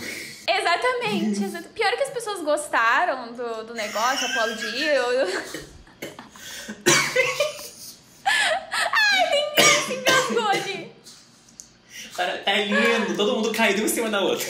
Aham, exatamente. Foi assim, um negócio muito engraçado. Mas o melhor pra mim era a gente na pose, assim, e daí caindo uma goteirinha assim na testa. Todo mundo triste, não sabe se é tristeza da coreografia ou da gelado na água. cabeça, Ou da sabe? água. Ai. E era, e era inverno na época. Não, era verão, mas só Ah, que a então chuva a tava água gelada. tá gelada, Era é. verão, era verão, menos mal, é, foi menos pior. Era tipo antes do Natal, assim, aquela época, dezembro. É, porque aí o inverno é bem inverno, né? Então. Não, inverno não tinha como, não teria como, é. Mas, ah, não, assim, foi sensacional. Foi aquelas experiências, assim, que, que tipo, não, não tem o que fazer, sabe? Mas, assim, foi, foi muito engraçado. Tá vendo? Se na época existisse TikTok, você estaria neviando aqui. Né? Exatamente. Eu preciso desse vídeo. Nossa, ia viralizar. O boliche de. de uma, boliche humano. Missão agora é se- caçar se esse vídeo. Quero ver agora também, todo mundo caindo. Vou catar, vou catar. Vou catar, gente. Bom, vamos pro próximo áudio que a gente. Né? O nosso tempo tá apertado e ainda tem muita gente pra ouvir. O próximo é da Natácia Massarani. Ai, Ela participou do mesmo episódio da, da Físio Andresa Lima, que foi o de lesões. Vamos ver o que, que ela mandou aqui. Oi, gente, tudo bem? Aqui é a Natácia Massaroni e eu vou contar pra vocês, vou tentar contar de uma forma resumida, uma história cômica que aconteceu comigo na primeira vez que eu fui dançar solo de repertório na minha vida. Bom, a, eu e minhas amigas éramos seis, a gente ia dançar as seis fadinhas da Bela Adormecida. Eu fazia a terceira fada, miolo de pão. E quando a gente fez a prova de figurino, foi tudo muito rápido, sabe? A gente experimentou. Eram uns figurinos bem antigos, muito lindos, super conservados, mas antigos, né? E aí a gente fez a prova super rápido ali, fechou o corpete, pá, coube, tá tudo certo, beleza. No dia do espetáculo, os figurinos chegaram, a gente foi vestir. E aí, não só eu, como mais duas ou três amigas, reparamos que os nossos figurinos não tinham o frufru da calcinha, sabe? Aquele frufruzinho que dá aquela tampada ali embaixo, na parte de baixo do colã. Então, o nosso não tinha, porque era um figurino muito antigo, na época não se usava, não sei. Era só uma telinha. Gente, vocês não estão entendendo. A gente ia ficar com a calcinha, com a bunda de fora. E aí foi um desespero, porque, né? E assim, para completar, a plateia não era uma plateia, não era um teatro que a gente ia dançar teatro normal, sabe? Era um ginásio, então tinha plateia praticamente 360. Tinha gente na frente, atrás e um pouquinho nas laterais. Gente, sério, vocês não têm noção, noção da vergonha que foi. A minha sorte era que eu ia dançar de meia calça rosa e eu levei uma calcinha que era praticamente cor de pele, assim, sabe? E aí quando eu coloquei com a meia por cima, ficou bem discreto. Mas teve uma amiga que tava com uma calcinha toda colorida de florzinha e aí não teve muito como disfarçar, né? A gente teve que ir na cara e na coragem dançar com o bumbum aparecendo. bumbum não, né? Mas com a calcinha aparecendo. E era a primeira vez na vida que a gente ia dançar solo. Então, com essa história fica aí esse mico para vocês e fica também um aviso, né? Sempre que forem dançar de figurino, calcinha cor da pele, discreta, que é para não acontecer esse tipo de coisa, vocês não passarem essa vergonha que eu passei, viu, gente? É isso, um beijão, sempre um prazer estar aqui no podcast da Lu. Beijo, Lu, obrigada pelo convite mais uma vez. Beijo, galera. Se quiser me seguir, arroba Natácia Massarani, N-A-T-A-S-S-A-M-A-S-S-A-R-A-N-I. Só tem eu lá, não vai ter erro. Beijão. Gente, o figurino transparente. Ah, que agonia! Ela era a Flora. Ah, é! Só podia, né? A Flora das Winx era ela. Ela tava tão no personagem, Luiz. Ela tava tão no personagem que até a calcinha era de florzinha, entendeu? É, o pessoal que não entendeu, o pessoal entendeu. Mas, cara, essa era uma situação que eu com certeza ou eu ia chorar ou eu ia desistir de dançar. Certeza. Nossa, mas eu. Eu acho que se fosse a menina da calcinha de florzinha, eu ia pedir emprestada pra alguém a calcinha, alguém que não tava com figurino transparente. Não sei, gente. É que às vezes. Às Não, vezes ela, às vezes ela 360. pediu e não tinha, né? Ninguém que pudesse emprestar, mas. Ai, que tenso. Cara, imagina a vergonha. Você tem... E o balé tem que manter uma pose pra dançar com vergonha. Não, é É péssimo. triste. O corpo.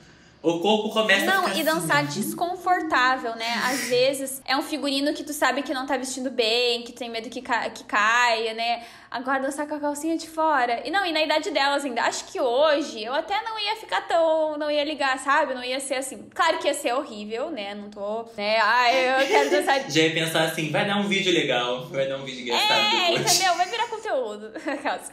Mas na- nessa idade, tipo, adolescente, assim, a gente- tudo é um surto na nossa vida, né? Sim. Tudo é um acontecimento, assim, o fim do mundo. Então eu não sei o que, que eu ia fazer. Bora lá. O próximo áudio é da Madu. Ela participou do episódio de sobre balé e pilates, tá? Vamos ouvir aqui o áudio dela. Oi, gente, eu sou a Madu Campos e vim aqui contar uma situação que eu tenho certeza que todos nós bailarinos já passamos. Bom, sabe quando você tá naquela festa ou em qualquer lugar e alguém chega e fala: Ah, você é bailarina? Abre aquela perna lá pra mim que nem espaguete? Gente. Meu Deus do céu, né? Primeiramente, espaguete. E segundamente, gente, eu tô em uma festa, eu quero me divertir, né? Já tô todo dia trabalhando, todo dia ensaiando, todo dia fazendo aula. Eu quero o quê? Ter o tempo de lazer.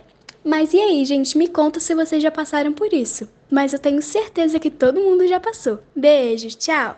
Ai, ai. Eu nunca passei por isso, mas eu sou bem amostrado com flexibilidade. Então eu adoro que as pessoas vejam que eu tenho, sabe? Eu acho que eu mostraria. É porque o meu problema é ficar de cara grande. Porque meu flex, ele nunca tá no mesmo nível, sabe? Depende Sim, do depende, momento. Às vezes ele depende. pode não estar no lugar... Ele pode não estar lá zerado. Aí, mas se a pessoa- se eu tiver zerado, se eu tiver certeza, eu não vou perder a oportunidade de mostrar que eu tenho. Não, mas A é. perna aqui, ó. Tem momentos, tem momentos e momentos e depende da pessoa que pede, assim, se é, uma, é um estranho, uma pessoa aleatória, assim, nossa, tu faz balé, faz um negócio aí, eu fico com raiva, eu fico assim, ah, amada. Agora, se eu tô com minhas amigas, assim, ah, faz um negócio, aí eu faço, entendeu? Depende, depende. Cara, você falou. Você falou que ela, que ela participou do, do episódio de Pilates. Eu tenho uma história com Pilates muito Conta. trágica. Eu fiz Pilates durante dois anos, né? E eu era o aluno que via Pilates. É, que na época eu só via vídeo de Pilates no meu Instagram, né? E eu salvava todos os vídeos de flex, porque eu amava, né? Na época eu não fazia balé ainda, nunca tinha feito nada. Ai. Eu salvava todos, eu falava, professora, quero fazer isso aqui, ó. Aí ela, isso é muito difícil. Eu falei, vamos! Botava a cabeça aqui no dia seguinte, ó, eu, assim, ó, cravado, mas eu ia. Eu amava. Aí teve um, um exercício aleatório pra quem fez, o nome dele é, é cavalo, né? O nome. Eu até Socorro. peguei a foto aqui pra vocês verem. Esse aqui, calma, deixa eu ver. Não sei se vai dar pra ver. Aqui, meus amigos, esse aqui. Mostrar na câmera. eu fiz essa pose aqui Meu Deus. que era pra alongar no final da aula. Só que aí, o que aconteceu? A perna não tava presa aqui, não. A gente ficava fazendo um U, assim, com, com o corpo. Só que eu, sei lá o que que passou na minha cabeça, eu tentei encostar a pontinha do dedo no chão. Eu escorreguei, meus amigos, eu escorreguei. Eu caí pra frente. Eu sei Deu de que eu quase quebrei meu pescoço. Eu quase quebrei o pescoço. Horror, Porque Luiz. eu não tenho força no braço. Minha vida, não, se depender do meu braço, eu morro. Eu não tenho força no braço. Eu não botei a mão assim. Eu sei que eu bati com a cabeça no chão e meu corpo foi pro lado. Ai, Só que do lado desse cavalo era uma sala pequena, né? E aí eu fazia aula, eu e mais quatro alunos, né? Só que aí, esse ficava no cantinho da parede, aqui, né? Eu tava assim aqui. E aqui tinha uma cama. Uma cama enorme que fazia exercício de pilates também. Quando eu caí com a cabeça aqui, meu corpo veio pro lado, minha filha. Eu encaixei certinho no espacinho minúsculo que tinha. O professor ficou desesperado porque eu caí dentro da lata de lixo também. Com a cabeça... Ai, meu Deus! A senhorinha e o professor me olhando assim, ó. Você tá bem? Porque Tu minha desmaiou? perna, só viu minha perna fazendo assim, ó. A minha perna e eu. Tô bem. Tu, desa- tu desmaiou? Eu fiquei acordado. Logo que eu caí, eu voltei. Mas foi muito ruim, muito engraçado. e muito Imagina, triste, não, eu achei que tu tivesse desmaiado. Ai, Luiz, que Eu podia ter fingido horror, desmaio, que mano. perigo. Eu podia ter fingido Cara, né, demência, finge demência. É, eu, assim, eu morri, quase. Mas, gente, foi muito engraçado depois que isso passou. Mas também muito trágico que eu fui embora pra casa assim. Eu podia ter morrido fazendo essa besteira ridícula de botar Derrotado. os dedinhos no chão. Porque foi essa roupa, ela escorregou em cima do Sim. plástico. Foi triste. Ai, amigo, a gente inventa umas modas às vezes, né, que não dá pra entender. Cara, pra quê? Pra quê? Meu Deus. Ai, sério, Luiz, só tu mesmo. Contribuir com a minha história. Adorei, maravilhosa a história. O próximo áudio. Ai, eu tô rindo da história ainda. O próximo áudio é da Carol, do Insta Meia Ponta, tá? Ela mandou um áudio aqui. Ai. Ela participou do episódio de menstruação na dança. Vamos ver o que, que ela tem pra contar. Olha, eu tentei pensar em situações que bailarinas adultas também já passaram, né? E me veio duas coisas de apresentação: escorregar na fita do linóleo, quem nunca? Quase cair no palco, pisar errado ali em falso, principalmente na ponta, né? E ter só três minutos pra trocar de roupa no backstage, quem nunca? Não é mesmo? eu acho que é isso. Um beijo. Gente, a fita do linóleo tem um negócio. Luiz, já dança... tu tem linóleo aí na tua casa, né? Eu tenho linóleo, mas eu. eu... Não, não, não escorreguei. Não, é- Porque eu já não tenho O eixo. teu linóleo, assim. ele tem. Tu, tu cola ele no chão com fita ou tu só bota ele? Não, eu fico abrindo e fechando ele. É, porque a fita do linóleo tem um negócio que escorrega, entendeu? Aí se tu pisa em cima da fita, tu escorrega, principalmente de ponta, quando vai com a ponta, assim. Aí isso que ela fala é muito real no palco, assim, tu. De tu. Cara, pra quê? Quem inventou essa fita? Você não botou um antiderrapante nela? É, eu também é assim, porque o linóleo serve pra, serve pra não escorregar. Aí a fita, a fita escorrega. Aí tu tá lá na apresentação, tu pisa certinho na fita, dá um escorregão, entendeu? Sabe o que aconteceu comigo? Com esse linóleo? Eu boto o tatame, né? Uhum. Embaixo dele. Porque o chão é muito duro, né? Sim, sim. o linóleo não, não tira o impacto do, do chão. Aí eu botei uma vez, achei que ficou super confortável. Eu faço sempre agora. Só que aí, esses dias eu tava fazendo um centro aqui nesse meu cubículo. Eu já tava na parede, só que acabou o, o tatame embaixo, então eu tava no, na- no balance. Eu pisei entre o chão e o tatame, assim, aí eu fiquei agarrado igual a galinha, agarrado assim no chão. pra poder não cair do balance, que a gente faz o pé de freio, né? Aí fica Sim. assim com o pé. Ai, Eu fiquei assim. Aí eu fiquei com a garra no chão pra não cair no meio do balanço, né? Porque a minha aula já é tão sofrida. Minha aula já é tão sofrida. Eu já erro tanto. Aí um momentinho que eu tô, que eu tô assim, brilhando, eu vou cair. Que isso? Meu Deus. Voltei a gravar. Não, sério, sério. Ai, que situação. Eu acho que eu conseguia trocar de roupa rápido, né? Segundo a história da Carol. Ah, é? Acho que sim. Ah, Eu troco, eu troco de roupa rápido, até pra sair, porque eu não tenho muito Sim. negócio, não. Eu só assim, um, e vou e bota. Eu sou bem rápido. Eu acho que eu conseguiria, mas provavelmente eu ia rasgar a roupa no meio do caminho. O problema é que às vezes não é só trocar roupa, né? Às vezes tem que trocar a sapatilha, tem que trocar o acessório de cabeça, tem que trocar.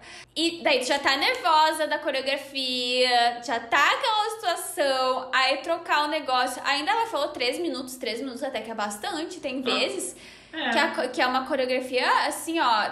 Tem, tem variação de balé que é 40 Minuto. segundos. A gente tem essa coreografia pra trocar de roupa, 40 segundos pra trocar de roupa. E tem que trocar na frente de todo mundo. Ai, nossa. Não, e assim, tem vezes que tem que trocar o cabelo. Eu já tive que trocar o cabelo. Teve uma apresentação que eu começava de cabelo solto e eu tinha que fazer o coque. O coque, sabe? Ninguém pensou que era mais fácil fazer o oposto?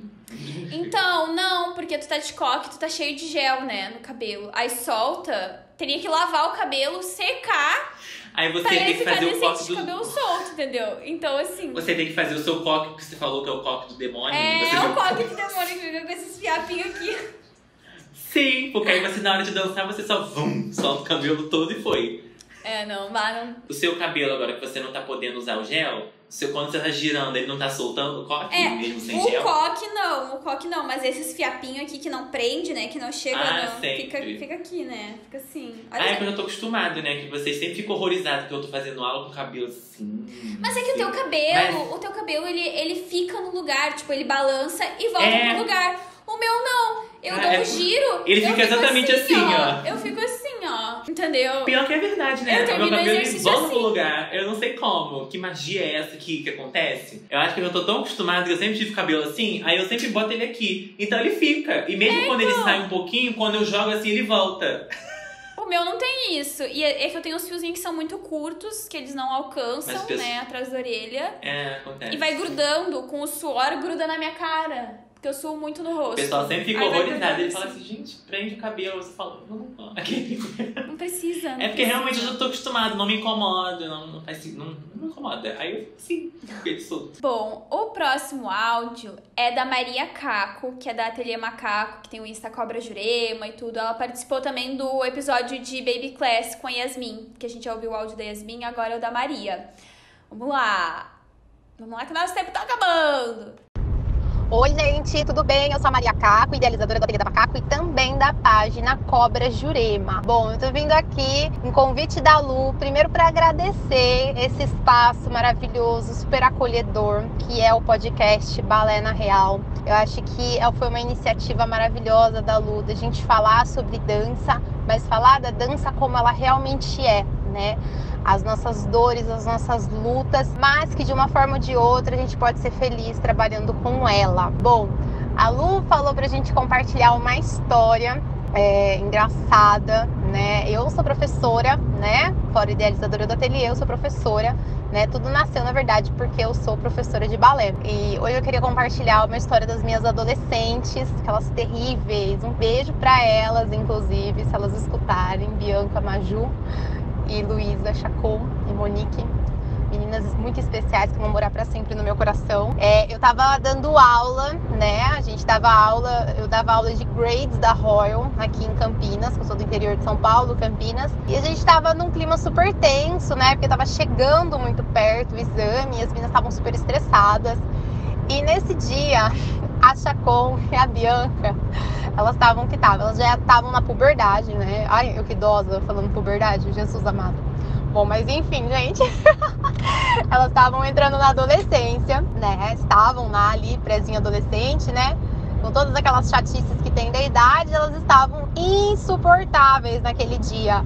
E eu fui lá, encher minha garrafa de água junto com a Luísa. A gente tava conversando de um assunto totalmente aleatório à aula. E eu só escuto uma gritaria, parece um bando de gatos se pegando. Eu falei, gente, o que tá acontecendo? Daqui a pouco a Bianca aparece assim, toda vermelha, com as costas toda arranhada. Eu falei, o que, que aconteceu? Ela, é Chacon! Foi muito engraçado, gente, vocês não têm noção. Aí ela, a Chacon! A Chacon, ela me bateu. Eu não sei o que aconteceu, até hoje eu não sei o que aconteceu. Mas elas se pegaram, tapa, se arranharam inteiro, então você imagina, né? Essa minha aluna Bianca, ela era super loira, branca, bem branca, e ela tava toda arranhada, as costas dela toda arranhada, Chacon chorando também, toda arranhada. Eu falei, meu Deus, o que, que aconteceu aqui? E aí eu tive que dar um sermão. Gente, é muito difícil você ser professor nesses momentos, viu? Quem é professor vai concordar comigo, porque a sua vontade é rir da desgraça do seu aluno, mas, né, você tem que se manter lá é, super séria. Aí eu dei toda a bronca, conversei com as mães no final da aula, as mães falaram que iam conversar com elas, mas isso é uma piada nossa até hoje. Eu já não dou mais aula para elas, tem uns três anos, mas não tem uma vez que a gente se fala que a gente não lembra desse caso. Bom, essa daí é uma das, é uma das histórias, né, que eu tenho para compartilhar, porque quem é professor, gente, sabe que a vida não é fácil. Mas é isso, Lu, muito, muito, muito obrigado por esse espaço maravilhoso. Eu espero que, né, eu faça parte de alguma outra temporada, porque eu amei fazer parte do podcast, de falar um pouco aí das minhas vivências, da minha história. E é isso, gente. Continuem escutando, porque esse trabalho da Lu é maravilhoso e vai longe. Lu, muito obrigada. Um beijo para todo mundo. Ai, que fofa! Não, sério, que. Que que é isso? As alunas se pegando no pau! As alunas brigando. Eu amo. Ah, Movimenta a aula. Eu amo que ela falou, ela começou a falar assim: ah, nesses momentos é muito difícil ser professora. Daí eu, eu pensei assim, ah, porque né, é uma situação complicada. Ela falou, porque dá vontade de rir das alunas. Mas pior que dá. Não, Pior deve dar dá. muita vontade. A vontade que eu ia ter, eu acho que é ia pegar a cabeça das duas e dar com elas na parede, dar um. Ai, vou ser igual a eu, vou ser igual a eu. Eu fico, eu fico assim, inconformado quando eu vejo pessoa, assim, adolescente e adulto, fazendo merda, igual criança, sabe? Porque criança Sim. me irrita. Mas quando você vê um adolescente e um adulto fazendo essas, essas baboseiras, é pior ainda. Porque eu falo assim, vocês já são adultos, já são Né? adolescentes, vocês são criança, para de fazer merda. Não, tu dá, dá sabe qual é a pior né? coisa? A gente fica Não, assim, eu não era assim, a gente fica assim. Eu- eu- a gente professor agora, eu tô nessa fase, a gente vê as pessoas fazendo merda e fala assim, eu era assim. Eu não era assim, eu não fazia Eu essas coisas.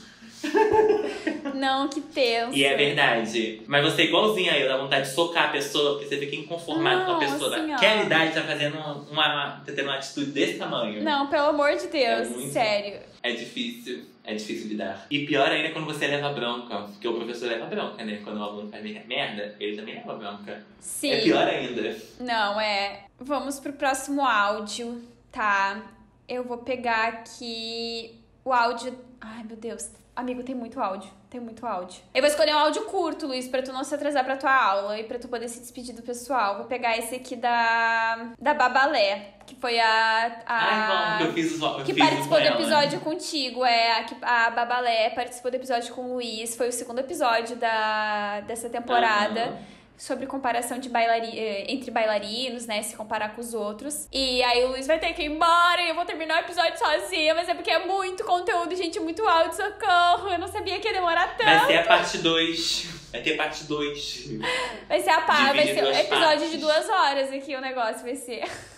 Mas bora lá É, então, pra tu não se atrasar pra tua aula, Luiz. O último áudio com o Luiz. Vamos lá. Oi, gente, tudo bem? Eu sou a Bárbara Machado, da Babalé. Eu tenho 19 anos, sou bailarina, sou influencer. E, gente, eu vim contar pra vocês um acontecimento bem recente, de hoje ainda, da minha aula de balé, que eu tenho certeza que já aconteceu com a maioria dos bailarinos que estão aqui ouvindo esse podcast. Gente, chegar no balé, abrir a bolsa, tirar o necessaire daqui, tirar a roupa de lá e não achar a sapatilha. Quem nunca, né, gente? Dá um desespero, não dá? Aconteceu comigo agora mesmo na aula, só que a gente sempre dá um jeitinho, né? E, gente, muito obrigada por estar ouvindo aqui. Obrigada, Lu, pelo convite, pela confiança de estar me convidando aqui pro podcast. Um beijo pra todos vocês. Gente, aconteceu Como? comigo.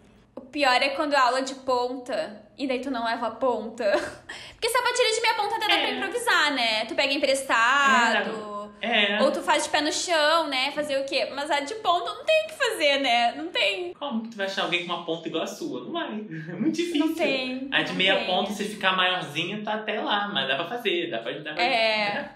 enganar. Cara, pior coisa. Eu tenho certeza que eu vou passar por isso quando for presencial. É, pior. Eu gosto de pegar e deixar as minhas coisas. Todas as minhas coisas sempre na bolsa. Eu não tiro, sabe? Eu vou pro balé, volto do balé, não tiro as coisas da bolsa, porque senão eu vou esquecer. Eu canso de esquecer coisa pra aula de balé. Quando eu tiro, principalmente assim, ai, tirei pra deixar a sapatilha tomando um ar, sabe? Esqueci. Esqueci em casa. Não botei de volta, esqueci em Por isso casa. nem pode, nem pode tirar pra dar um ar, porque senão esquece. Ou então Não, tem que ter sério. duas. Uma pra quando você for tomar o ar, já tá a outra na bolsa. Sim, sim. Meu Porque Deus. senão você vai esquecer. Certeza. Ai, cara, eu não quero ir embora. Ai, amigo, mas eu não quero também fazer tu se atrasar pra tua aula, tá? É aula de balé que tu tem agora? Ó, É então. agora. Não vai chegar atrasado pra aula. É Outra coisa que todo mundo sempre passa, chegar atrasado na aula, né? Eu vou chegar atrasado com certeza. Eu já tô na minha sala de balé, mas eu vou chegar atrasado. É só tu literalmente fechar essa, essa videochamada e abrir a outra. Eu não quero que chegue atrasado, então vai embora daqui, Luiz. Se despede e vai pra tua aula. A Ju sabe. A Ju sabe, semana retrasada, ela falou: E aí, Lu, bora fazer aula? Eu falei: Que aula? Luiz do céu. Não faz isso. Aí eu tive. Catei meu computador, vim correndo. Aí ela, na minha cara assim. Amigo do céu, não faz isso Pronto. que eu sou professora. Eu 15 minutos atrasado. 15, que eu esqueci. Eu tava na rua. Cheguei atrasado na minha aula em casa. Meu Deus. Tá, mas aí, ó, fala tuas redes, manda um beijo pro pessoal. Ai, gente, foi maravilhoso estar aqui. Amei participar desse último episódio. Pra quem quiser me, me seguir lá no Instagram, eu dou uma sumida, eu volto, eu sumo, eu volto, mas é eu danço com o Luiz. Só tem eu. De vez em quando tem uns rios lá legais, assim, engraçados. Eu acho que são legais. Muito tá? divertidos. Eu amo os rios. De vez em quando tem colega com a Lu, É. inclusive a gente tem que terminar de gravar Estamos um. aí, porque estamos só eu fazer. e ela. Vai ser um trio, mas aí É. só eu e ela que tá atrasado. Ai, eu amo. Eu amo. E aí é isso, gente. Até a próxima. Um beijo. Tchau. Beijo, amigo. Agora a gente continua sem o Luiz, gente, mas a gente ainda tem muitos áudios pra ouvir. Então bora lá. Beijo, amigo. Depois eu vou assistir o resto do podcast pra saber. Obrigada pela participação. O Luiz tá sempre aí, né, Luiz? sempre aqui. Maravilhoso. Me ajudou muito. Tchau, gente.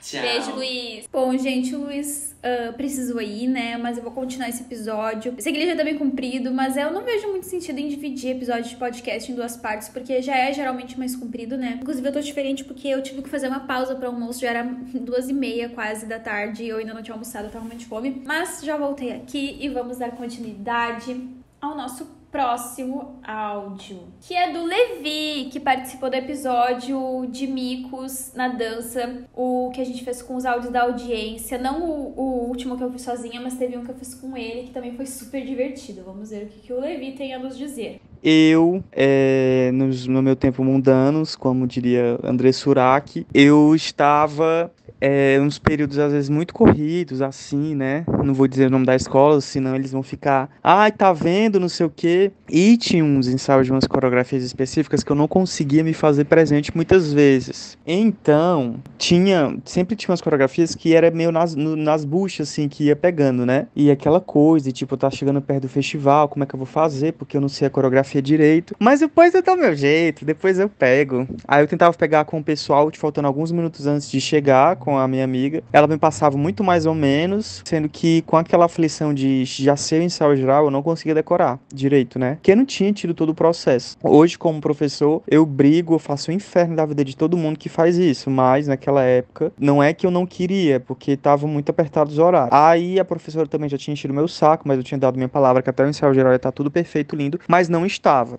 A sorte é que dos quatro ensaios gerais que tiveram, todos eles eu ia meio que, tipo, dando um jeitinho. Um deles a minha professora não tava. Outro eu tive que faltar de novo. E o terceiro, tipo, eu consegui meio que enrolar e nas partes que eu tinha mais dúvida, a professora não tava olhando, mas tudo era uma coisa que eu ia me safando de um jeito, porque eu não sabia a coreografia. E tinha horas que eu tava, tipo, quase na frente. Chegou-se o dia do festival e eu ainda tentando, tipo, aqui e acolá, pegava um trechinho com a minha amiga, pegava o outro. No, no meu tempo, assim, tipo, 1900 bolinha não tinha. Olha que eu sou jovem ainda, tá? Pra deixar claro. Não tinha esse negócio de, ai, filma pra eu ver. Não tinha isso. Nossa câmera era pra filmar coisas de tipo, ai, quando ia com o Zemo, pra praça e tudo. E, e quando era pra fazer depoimento de Orkut, essas coisas. Não, não dava pra ficar filmando dancinha de coreografia. Ninguém sabia desse meu segredo interno, que a verdade era que eu não sabia. Um detalhe é que a coreografia era de sapateado. Aconteceu isso uma vez com o sapateado e aconteceu outra com jazz. Mas com o sapateado, caralho, é muito mais difícil. Porque é, a sincronia é mais rápida e o, o som tem que sair junto de todo mundo. Eu sei que eu ia assim, tipo, vai no que Deus quiser. E chegou o dia, o momento de eu apresentar, eu não sabia. E chegou o momento que eu entrei no palco. A coreografia tinha um óculos escuro. E foi esse óculos que me salvou de eu poder ficar dançando o tempo inteiro, olhando para os lados, de rabo de olho para as pessoas. Enquanto eu não conseguia olhar de rabo de olho, eu meio que disfarçava, dando um sorriso, fazendo um sambinha e tal. E até hoje eu tenho pesadelos que isso acontece em todos os eventos da minha vida. Seja nas vésperas ou depois que acaba qualquer coisa. Eu tenho esse pesadelo de que eu não sei a coreografia e que eu cheguei na hora, no dia, assim. Depois, isso nunca mais aconteceu, eu sempre fui uma bailarina muito aplicada. Mas, como diretor e coreógrafo que dança os próprios trabalhos, isso sempre acontece, porque não dá tempo de eu ensaiar por estar ensaiando os outros. A gente acha que sabe decorar, mas a gente se engana, a gente não sabe. Gente, não seja o Levi. Levi, pior exemplo. Não seja essa pessoa que falta ensaio que não decora, coitado. Foi uma situação à parte, pelo que eu entendi, ele não fez mais isso. Mas, nossa, fiquei impressionada que a professora te manteve na coreografia, porque lá na minha escola não tem isso. Se tu não decorou, se já passou ensaio, passou ensaio, a pessoa falta, a pessoa não vai, a pessoa vaza da coreografia. E nem, nem é por escolha própria, é por escolha da professora, né? A Camila lá fala, gente, se faltou tantos ensaios, se não sabe o que tá fazendo, se não tá fazendo direito, ou sai dessa parte, ou, né, ou sai da coreografia, dependendo dependendo até, porque, gente, é muito estressante, viu? Ser, tu ser a pessoa que vai em todos os ensaios e sabe a coreografia. Tudo bem errar de vez em quando, mas nesse caso, né, que ele falou que ele realmente não sabia o que ele tava fazendo. E pra vocês verem como é traumático, ele lembra disso até hoje, tem pesadelo com isso, viu? Não é traumático só pra, pros coleguinhas que tem que ficar levando mijada por causa do colega que não decora. É traumático pra quem faz também, porque o desespero depois que ele passou no palco. Gente do céu. Difícil te defender nessa, hein, Levi? Difícil te defender, hein? Então vamos lá, galerinha. Responsabilidade nas coreografias de vocês, viu? Bom, o próximo áudio é da Pade Gil. A Gil, ela participou do episódio que a gente falava sobre tem idade certa para começar a dançar. E, ter, né, foi um episódio muito legal também. Todos os episódios foram legais, gente. Eu tô falando que, ah, foi um episódio. Todos os episódios foram maravilhosos. E a Gil mandou aqui o áudio dela, bora ouvir. Oiê, Giovana Martinelli ou Padegil por aqui. É, para esse episódio tem uma história um pouco tensa, mas hoje em dia ela é engraçada até, sobre esquecer coreografia no palco, na hora da apresentação. No geral, se eu ensaio bem, né, eu dificilmente esqueço alguma coisa no palco. Eu me lembro de ter poucas vezes ter tido um branco assim no palco de repente, sabe? Mas a minha primeira apresentação de uma coreografia de dança de salão, na verdade, eu acho que foi uma das primeiras apresentações de dança da vida, inclusive, eu tinha pouquíssimo tempo de, de aula. É, eu e meu parceiro, a gente apresentou uma coreografia de tango. A gente mesmo que coreografou, né? A gente ensaiou por meses, incansavelmente, né? Eu não aguentava mais ouvir a música, inclusive, em todos os ensaios tinha dado tudo certo. Eu não me lembro de a gente ter errado nada nos últimos ensaios. Mas aí no dia da apresentação, obviamente, alguma coisa deu errado, né? Na dança de salão, é o parceiro que conduz a dama, né? A gente tem que é, deixar o cavaleiro conduzir a gente. E no meio da coreografia, na hora da apresentação, o meu parceiro foi me conduzindo para as últimas, é, para os últimos passos da coreografia. Ou seja, faltando um minuto ou mais até para acabar a dança, ele estava fazendo um dos últimos passos. E eu entrei em desespero na hora.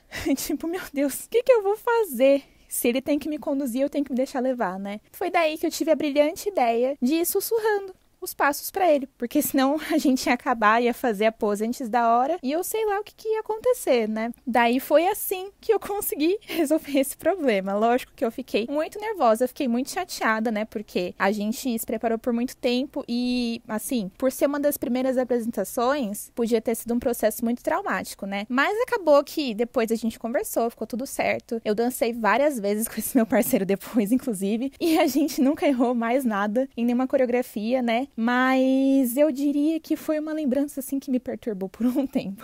Lu, obrigada pelo convite. Foi um prazer fazer parte dessa temporada. Gente, mais uma de dança de salão. Juro pra vocês, não imaginava que ia ter, né? Essa variedade de estilos de dança aqui. Mas outra que o partner, o parceiro, né, deu uma erradinha. Essa é um pouco diferente, né? A da Ju, ele errou. Ele errou o lado e ela teve que sair correndo atrás dele. E nessa da Gil, o moço simplesmente resolveu, né, esqueceu e resolveu improvisar. Improvisar não, né? Ele pulou metade, cortou um minuto de coreografia ali. Gente, imagina o desespero da pessoa ter que ficar sussurrando a coreografia. E não é só, porque daí assim, uma coisa é a gente já ter que pensar no que a gente tem que fazer, aí tu tem que pensar no que o outro tem que fazer também. Tudo bem que a dança de salão, eles estavam fazendo as coisas juntos ali, então meio que, né, ela tinha que seguir ele e, e, ela também já sabia os passos que ele ia fazer, porque ela tem que seguir ele, né? Mas assim, tem que pensar por dois, né? Tem que pensar por dois. O desespero e o trauma. Me surpreendeu que, que enfim, óbvio, eles conversaram depois, superaram isso juntos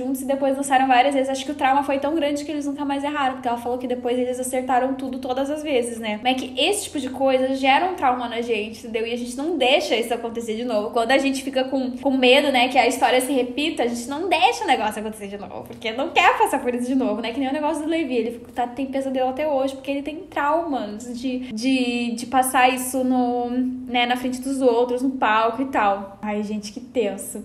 Mas, mas é isso. Esquecer coreografia no palco, quem nunca, né? Não podemos julgar também. Bom, o próximo áudio é da Isabela, minha amiga, que também participou do primeiro episódio do, dessa temporada. Enfim, é, esse foi o episódio que teve três convidados, né? A Isabela, a Ju e a Gomes. E a Isa é a última agora que a gente vai ouvir o áudio do primeiro episódio. Ainda tem muito mais áudio, gente, calma aí. Oi, gente, aqui é a Isa, mais conhecida como Slow nos Logs da Lu. E o que eu queria contar é que eu sinceramente acho que uma grande parte das bailarinas já passou travar a música ou pausar a música, não tocar a música, tocar a música errada na hora de subir no palco no solo de um festival. Para mim já aconteceram todas essas opções de entrar, me posicionar e a música não começar. E daí tem aquele momento que tu pensa: será que eu saio? Será que eu fico e espero? E daí as pessoas na coxinha, cada uma te diz uma coisa diferente. E teve um outro festival que eu dançava uma coreografia de Paquita. E Paquita tem 900 solos. E eles não estavam achando a minha música, porque a gente levava em CD. Eles não estavam achando o meu CD. E daí uma das organizadoras assim, do evento, uma professora, disse: Eu sei que, que coreografia é tua e eu, eu tenho essa música, eu vou colocar. Deu, tá bom. Entrei me posicionei e era música de outro solo do Paquito. E daí uma Isabela parada no meio do palco, dá meia volta, continua sorrindo, sai. E isso tudo sempre aumentando o nervosismo, né? Dancei ele várias vezes durante a minha vida. Foi uma vez que eu fui me apresentar e a música começou a tocar. E uma última situação, também com esse solo do Paquita, que já deu muito o que falar, até porque eu dancei ele várias vezes durante a minha vida. Foi uma vez que eu fui me apresentar e a música começou a tocar só que ela tava muito baixa, mas assim, muito baixa. Que eu mais cantava ela na minha cabeça do que de fato escutava. Só que eu achava que a plateia tava escutando a música. E depois eu fui descobrir que na verdade a plateia achava que eu tava escutando a música, porque eu segui dançando, mesmo praticamente não escutando a tal da música. E a plateia achou que eu tava escutando e ah, que legal, que ela continuou, ok. E depois a gente descobriu que ninguém tinha escutado música nenhuma. Depois eles até me convidaram para dançar de novo, agora com música de verdade, mas enfim. É, tem muita história para colecionar, né? Então então, quero escutar as histórias de todo mundo aqui nesse último episódio da temporada. E um beijo, foi muito bom escutar todos esses episódios. Até mais. Gente, não, né? A Isabela já dançou esse solo 500 mil vezes. Pra cada vez que ela dançou tem uma história diferente. Mas essa coisa de problemas com música. Não, sério, quem nunca? Tanto em apresentação quanto em aula, né? Em aula quando a gente usava CD, que agora tem Spotify, tem pendrive, enfim, mas quando usava CD, toda hora travava música, toda hora, não sei o que, é, sempre tinha uma coisa acontecendo assim. Mas no palco já me aconteceu também de errarem minha música e de errarem, assim, várias vezes seguidas, assim, no mesmo dia, sabe? Tipo, eu ia lá, preparava, tocava uma música errada, daí ela saía, aí começava a tocar outra música, daí começava a tocar a música errada. Aí quando começou a tocar minha música certa que eu comecei, parou no meio porque eles achavam que tava tocando a música errada. Então, assim, assim, é desesperador. Quando toca a música errada, ah, tocou uma vez, tipo, chega a dar aquele choque, assim, sabe? Porque tu tá, já tá nervosa, tu tá com o negócio ali. Aí dá um negocinho errado, tu já entra meio desestabilizada para dançar, né? Ainda mais em festival, em competição, que a gente já tá mais nervosa ainda, porque que é uma competição, né? Tu quer sair bem, tu quer, enfim, acaba dando uma, uma balada ali no psicológico, né, gente? Vamos combinar.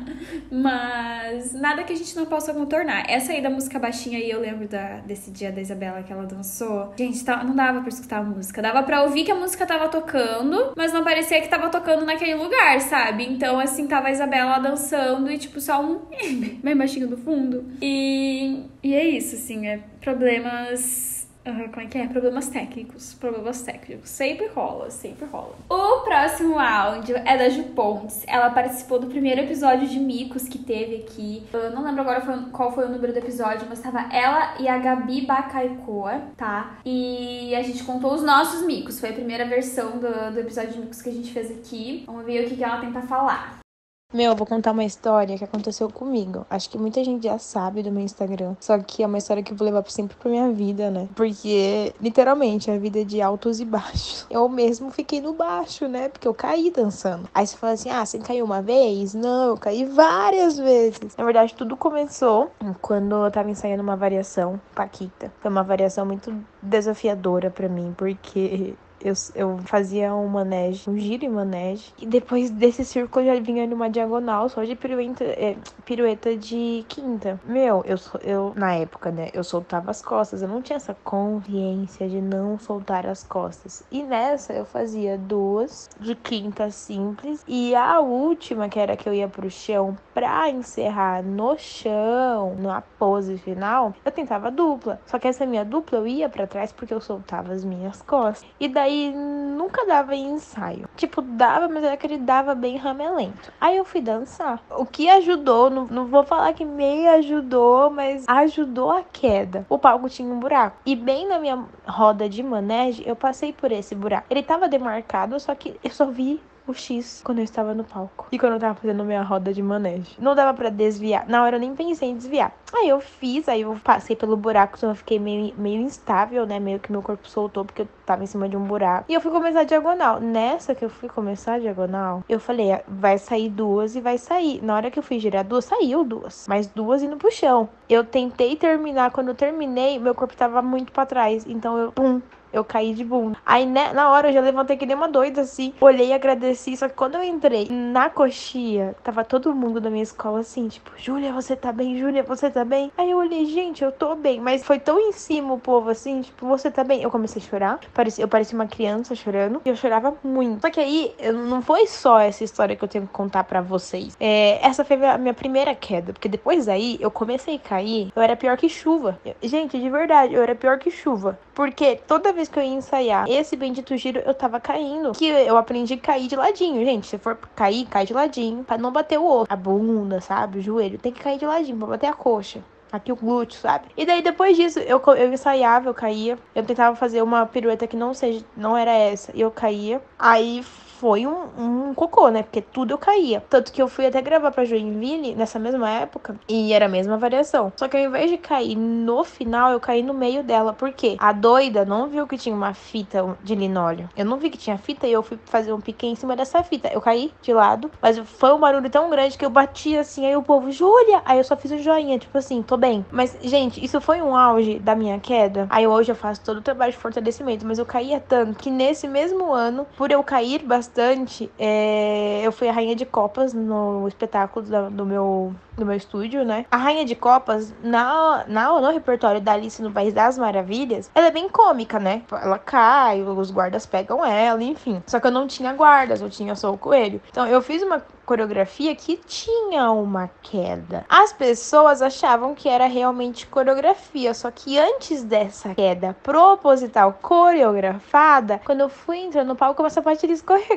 também e eu caí de bunda. Só que na hora que eu caí, eu fiz uma cara tipo rainha de copas que eu já tava com uma cara assim. E eu continuei. Quem não sabia coreografia achou que era da coreografia igual a outra queda que tinha no final da coreografia. Só que não era. Então, quem realmente sabia a coreografia falou, Júlia! Mas por quê? A Chonga esqueceu de colocar o, o corinho na ponta da sapatilha, esqueceu de molhar a ponta da sapatilha. E eu fui. Foram esses os, os momentos assim de queda em palco. Foram esses três. Eu acho que o meu problema é vestido vermelho. Porque, cara, eu só caio de vestido vermelho. E daí nessa também teve algumas quedas em sala de aula. Só que tem muitas que vão ficar pra memória, cara. Tem algumas que eu até tava gravando. Porque eu realmente queria ver o que, que eu tava errando. Por isso que eu dei uns vídeos das minhas quedas. Só que tem uma que foi uma queda bem da cagada. Parecia bosta de pombo, de verdade, gente. Eu, eu preciso muito mandar pro Faustão.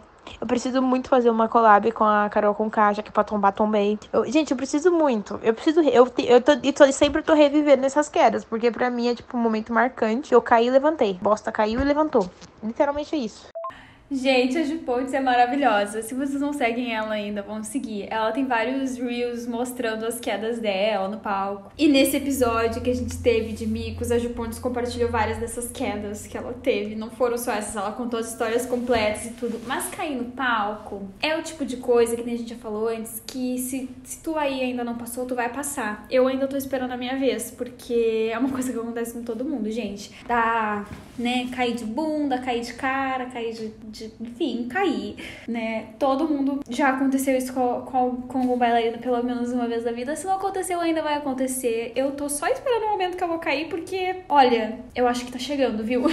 Mas, um, aí outra coisa que ela falou fita de linóleo, que nem a Carol da meia ponta comentou lá mais cedo, que fita de linóleo escorrega. Viu como escorrega, gente? Do pontos aí caiu por causa da fita do linóleo. Tu vê, né? E, enfim, a Pontes é a rainha da queda, né? Tá, tá sempre se, se mangaladeando, sei lá que palavra aqui. Se, se caindo por aí, né? Agora ela falou que deu uma melhorada, mas tem muito vídeo dela no Instagram dela caindo, gente Coitada, é engraçado. Eu já caí em aula, isso sim, várias vezes. Tem até vídeo no canal, tipo, de vlog que aconteceu, enfim. Cair em aula é super normal, né? Porque em aula meio que, sei lá, se tu já faz uma pirueta simples, tu vai tentar fazer uma pirueta dupla. Se tu faz uma pirueta dupla, tu vai tentar fazer uma pirueta tripla. É o momento da gente se arriscar, né? Então é o momento que a gente tá mais vulnerável ali, é o erro. Então, no palco a gente às vezes já tem mais cautela. Às vezes o palco tu cai, assim, se tu escorregou, se tu virou o pé, que nem ela falou, tinha um buraco no palco, né? Mas não é, tu não cai porque tu tá tentando uma coisa muito diferente, né? Na aula a gente tem essa coisa de, de tentar fazer mais, né? E tudo. Aí acaba tendo mais queda em aula mesmo. Mas essa.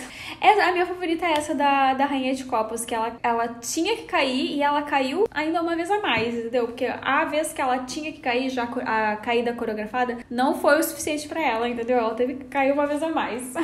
Eu amei. Gente, o próximo áudio é da Mabalé. Ela participou de um episódio que era sobre sapatilha de pontas, fitting, né? Tudo que a Má sempre fala nas redes sociais dela. Vamos ouvir aqui o que ela mandou. Oi, Lu. Oi, pessoal. Tô vindo aqui para agradecer. Tô muito feliz de ter participado dessa temporada, convidada aí pela Lu. A gente falou um pouco sobre fit, um pouco sobre o meu trabalho. Foi muito bacana o nosso bate-papo. Tô muito feliz para contar um pouco sobre situações que todo bailarino já passou. Deixa eu ver. É, como o nosso assunto foi fitting, sapatilha de ponta, eu sempre recomendo no, no meu fitting a bailarina aprender a costurar a sapatilha, porque sempre no final elas viram para mim, a mãe vira para mim e fala: Você costura, né, na sua loja. É, você não pode costurar para mim, não. Elas querem me pagar pra eu costurar pra, pra filha delas. Só que eu acho até assim, tá, tá enrolado, quer pagar alguém, ok, mas é importante a bailarina aprender a costurar, porque eu já passei por uma situação muito complicada. Em pleno ensaio geral, a minha sapatilha estourou a costura toda, toda da sapatilha de ponta. E aí eu fiquei assim, meu Deus, cadê a minha mãe? Porque ela que costurava para mim, eu fiquei super na mão, enfim. E um, a minha sorte foi que uma amiga minha conseguiu tinha um kitzinho e ela ela é mais velha. Na época, as minhas amigas também não sabiam, né, quebrar esse galho e aí ela conseguiu fazer para mim e me salvou. Mas é uma situação traumatizante e eu sempre passo para as meninas, aprenda a costurar. Bom, é isso. Obrigada, gente. Um beijo grande, Lu. Gente, pena que o Luiz já foi embora, porque essa aí é pra ele, ó. Luiz, aprenda a costurar. Porque tanto bailarino quanto bailarina sempre dá um errinho, principalmente em dia de apresentação, gente. Dia de apresentação, vai botar o figurino, tá mais folgado, tem que apertar. Tu vai botar a sapatilha, arrebenta uma fita, que nem a Má falou ali no ensaio geral dela, arrebentou a sapatilha, estourou a sapatilha. Gente, sempre tem um negócio assim naquele momento que não dá pra ter, né? E mais, eu digo mais, não só saiba costurar, mas carregue o seu kit de costura. Eu confesso que pras aulas aulas assim eu não carrego, mas sempre que eu vou para apresentação, para curso de férias, festival, eu sempre levo o meu kit de costura, porque não tem como, gente, se dá alguma cagada. E assim, sempre tem gente que não leva, né? Amiga que não leva, colega que não leva, não leva. Então, ou tu vai ser a pessoa que, que precisa do kit de costura, e daí tu tem o teu kit de costura, ou tu vai ser a pessoa que vai ter que emprestar o kit de costura para alguém, que alguém com certeza vai precisar, gente. Sempre tem essa situação, sério.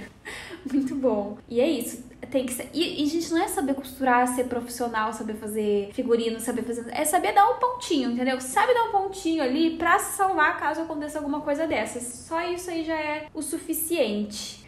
Gente, agora a gente vai pro áudio da Mari Massoneto. A Mari, ela participou do episódio de balé e musculação. Ela é bailarina e ela faz musculação. Enfim, bora que eu vi o áudio dela. Tá louco o áudio dela, né? Só uma história maravilhosa. Oi, gente, tudo bem? Aqui é a Mari Massoneto. Eu participei da primeira temporada do podcast Balé na Real junto com a Lu Curte. E hoje eu vim compartilhar uma história com vocês. Para quem não sabe, eu sou bailarina e também professora. Só que no começo, como professora, assim, não foi muito fácil. É, eu comecei pegando uma turma de baby. A turma era bem tranquilinha, tinha três ou quatro meninas que eram bem tranquilas. Então, nas primeiras aulas ocorreram tudo bem. Só que aí teve um dia que foi uma aluna que já era da escola, mas ela ainda não tinha aparecido. E foi uma aluna experimental que estava junto com a mãe, que a mãe queria assistir a aula e tudo mais. Estávamos lá na sala de aula, fazendo os exercícios em roda, no chão, tudo mais. De repente, a menina começou a implicar com a sapatilha. A menina que já era da escola, né? Falando que a sapatilha estava apertada que a sapatilha tava machucando ela, tudo mais. Cheguei para ela falei assim, deixa eu ver como que tá. E aí eu passei o dedo, vi que não tava apertada, que não tava machucando, tentei conversar com ela. Falei, não, vamos ficar de sapatilha. Olha, as amigas bailarinas estão todas de sapatilha. Vamos ficar, tal, tal, tal, pra você ficar bonita. Aí ela ficou com a sapatilha. Aí passou um tempo, ela começou de novo, tia, quero tirar a sapatilha. E aí ela já tirava. Aí ela tirava a sapatilha. E aí, como a mãe tava na sala, eu tentava assim, deixar ela bonitinha, de bailarina. A mãe da outra aluna, né? Não era a mãe dela. Ia lá, falou assim: não, vamos ficar de sapatilha, né? Pra todas as bailarinas ficarem bonitas. Ó, coloca aqui, não tá te machucando, a tia tá vendo. É só você esquecer, vamos fazer a aula, vamos brincar de tal coisa. Aí eu começava a brincadeira, ela esquecia. Aí do nada essa menina começou, assim, ela já era muito agitada, né? E aí ela realmente encanou com esse negócio da sapatilha. Ela sentou no chão e começou a fazer um escândalo, que ela tava com a sapatilha, que a sapatilha tava machucando, gritando, tirando a sapatilha, chorando. E aí eu, meu Deus, o que, que eu faço agora, né? Não sabia o que, que eu fazia. Eu fui lá, cuidei ela. Comecei a conversar com ela, comecei a conversar para tentar acalmar ela. De repente, a hora que eu olho para trás, a sala tava uma zona. A menina nova tava pendurada na barra, uma tava correndo um, atrás da outra. Uma coisa assim, de louco. Eu lembro que naquela hora que eu tava assim, mexendo na sapatilha dela, eu olhei para cima e vi a sala naquela assim, naquela loucura. Eu fiquei paralisada. Eu não sabia o que fazer. Aí eu peguei, tipo, pra tentar sair daquela situação, né? Eu falei assim: vamos todo mundo escolher uma música livre pra gente dançar agora, pode ser? Aí elas, é, pode ser. Ainda era a época da Frozen, né? Coloquei a Frozen, elas começaram a dançar e aí eu fiquei, meu Deus, foi a solução que eu achei para sair daquele caos. Mas acabou tudo bem, na verdade. Na verdade, não acabou tudo bem, porque hoje, até hoje eu tenho traumas de Baby, que eu até troquei essa turma, porque eu fiquei realmente com muito medo e aí eu troquei essa turma, peguei uma turma um pouquinho mais velha. E a outra professora da escola que já tinha experiência com baby pegou essa turma e aí eu comecei a fazer estágio junto com ela nessa turma pra mim aprender a lidar com essas situações, né? Então aí fica uma dica também muito importante para você que quer começar a dar aula. Faça primeiro muito estágio, acompanhe porque as situações na sala de aula são muito diversas e a gente precisa saber lidar com essas situações. Então quando a gente faz um estágio, quando a gente acompanha o professor, a gente vê como ele se comporta, como ele faz e assim, eu aprendi muito com isso. E não pensem que dar aula de baby é a mais fácil, viu? Para mim é mil vezes mais difícil. Então, se você vai começar, recomendo até você não começar com uma turma de baby. Só se você realmente tiver muito, muito, é, é muito, como que fala?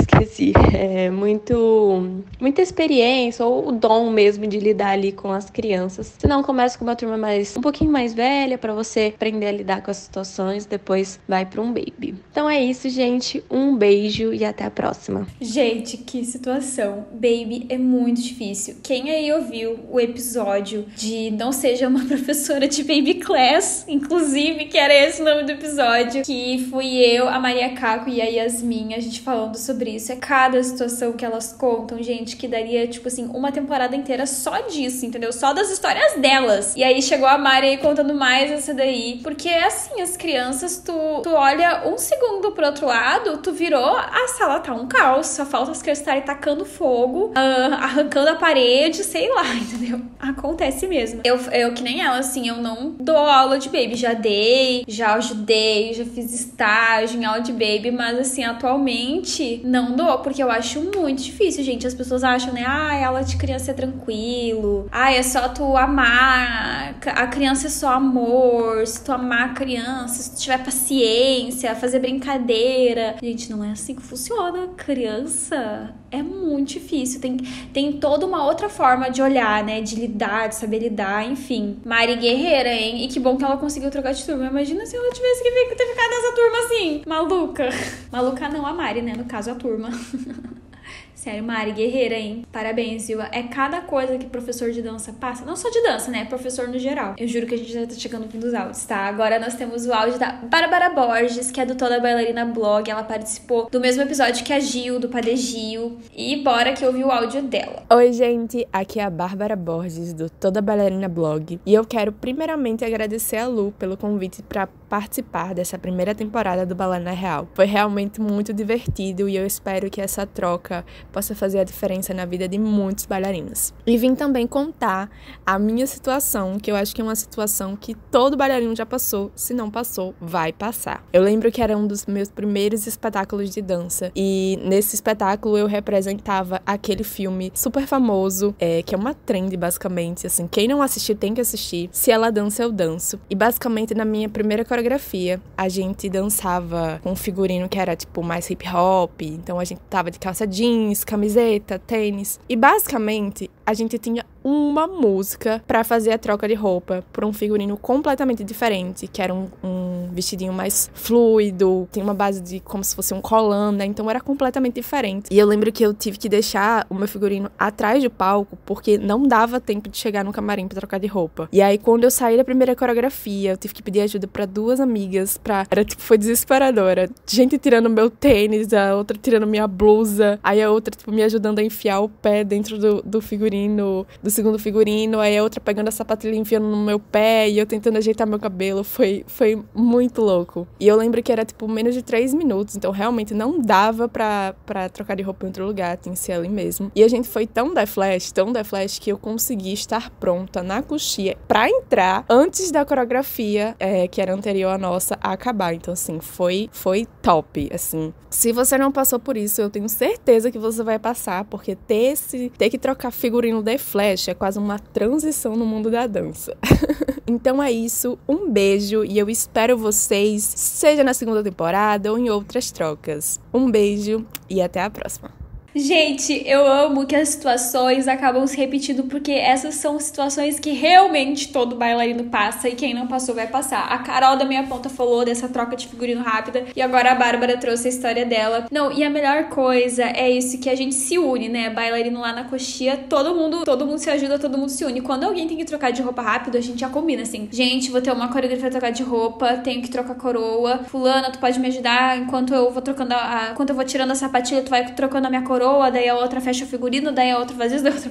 Que nem a outra coloca um pé do tênis, a outra tira a sapatilha, a outra faz não sei o que. E daí tu vai aqui, ó, e vem um monte de gente na tua volta, vai fazer assim, tchá, tchá, tchá, tchá, tchá, tchá, tchá, tchá, pra dar tempo e funciona, viu? Funciona. E é bem isso que ela falou. É uma, praticamente uma transição no mundo da dança, entendeu? Se tu ainda não passou por isso, tu vai passar com certeza. Espetáculos assim que tem mais de uma coreografia, né? Sempre vai ter a situação. E é isso, gente. Às vezes até, eu vou confessar pra vocês, é um pouco desesperador quando é pouco tempo para trocar o figurino, mas às vezes é até melhor, tipo, tu já sai de uma coreografia, se troca já vai para outra, do que ficar aquele tempão esperando, que aí tu fica mais nervosa ainda, sabe? Quando é diretaço assim, tipo, não dá nem tempo de tu pensar, sabe? Sai de uma vai para outra, sai de uma vai para outra, sai de uma vai para outra, sabe? Já vai que nem arrancar band-aid, mas muito bom, sério, adorei. Gente, eu acho que esse aqui é um dos últimos áudios. É da Tamires Reis, que ela participou do mesmo episódio da Mari Massoneto, que era o de musculação. A Tamires, ela é personal e bailarina e educadora física, né? Vamos ouvir aqui o áudio dela. Oi, meu povo, tudo bem? Aqui é a Tamires Reis Personal. Vou contar um dos casos que com certeza muita gente já passou. Não sei vocês, mas sempre que a gente se arrumava, né, para ir pro espetáculo e tudo mais, a gente separava gel, a gente separava cotonete e coloca o figurinho em saquinho e arruma a mala e que não sei o quê. E aí você fica que nem uma barata tonta, né, dentro de casa. Ai, se eu esquecer não sei o quê, se eu esquecer não sei o quê, se eu não esquecer não sei o quê. Aí você vai, pega suas coisas, chega no teatro, aí a sua professora vira e fala assim: "Gente, todo mundo tirou o esmalte?" Aí você olha para sua unha, aí você tá com aquela com aquele esmalte de florzinha, cheio de glitter, e aí bate aquele desespero, porque geralmente, não sei com vocês, né, mas no, no teatro que eu dançava, não tinha perfumaria tão perto, né? E eu era pequena também. Então, tipo, como que você vai sair do teatro para comprar uma acetona e voltar? Tinha hora que não dava, né? Aí vai a saga de perguntar para a escola inteira quem tem acetona. Aí você acha acetona. Aí você não levou algodão. Aí você procura pela escola inteira quem tem algodão. Aí você começa a tirar o esmalte, e aí normalmente esses esmaltes muito, muito, muito é, pigmentados, eles ficam com a marca, né? Aí parece que você comeu algodão doce.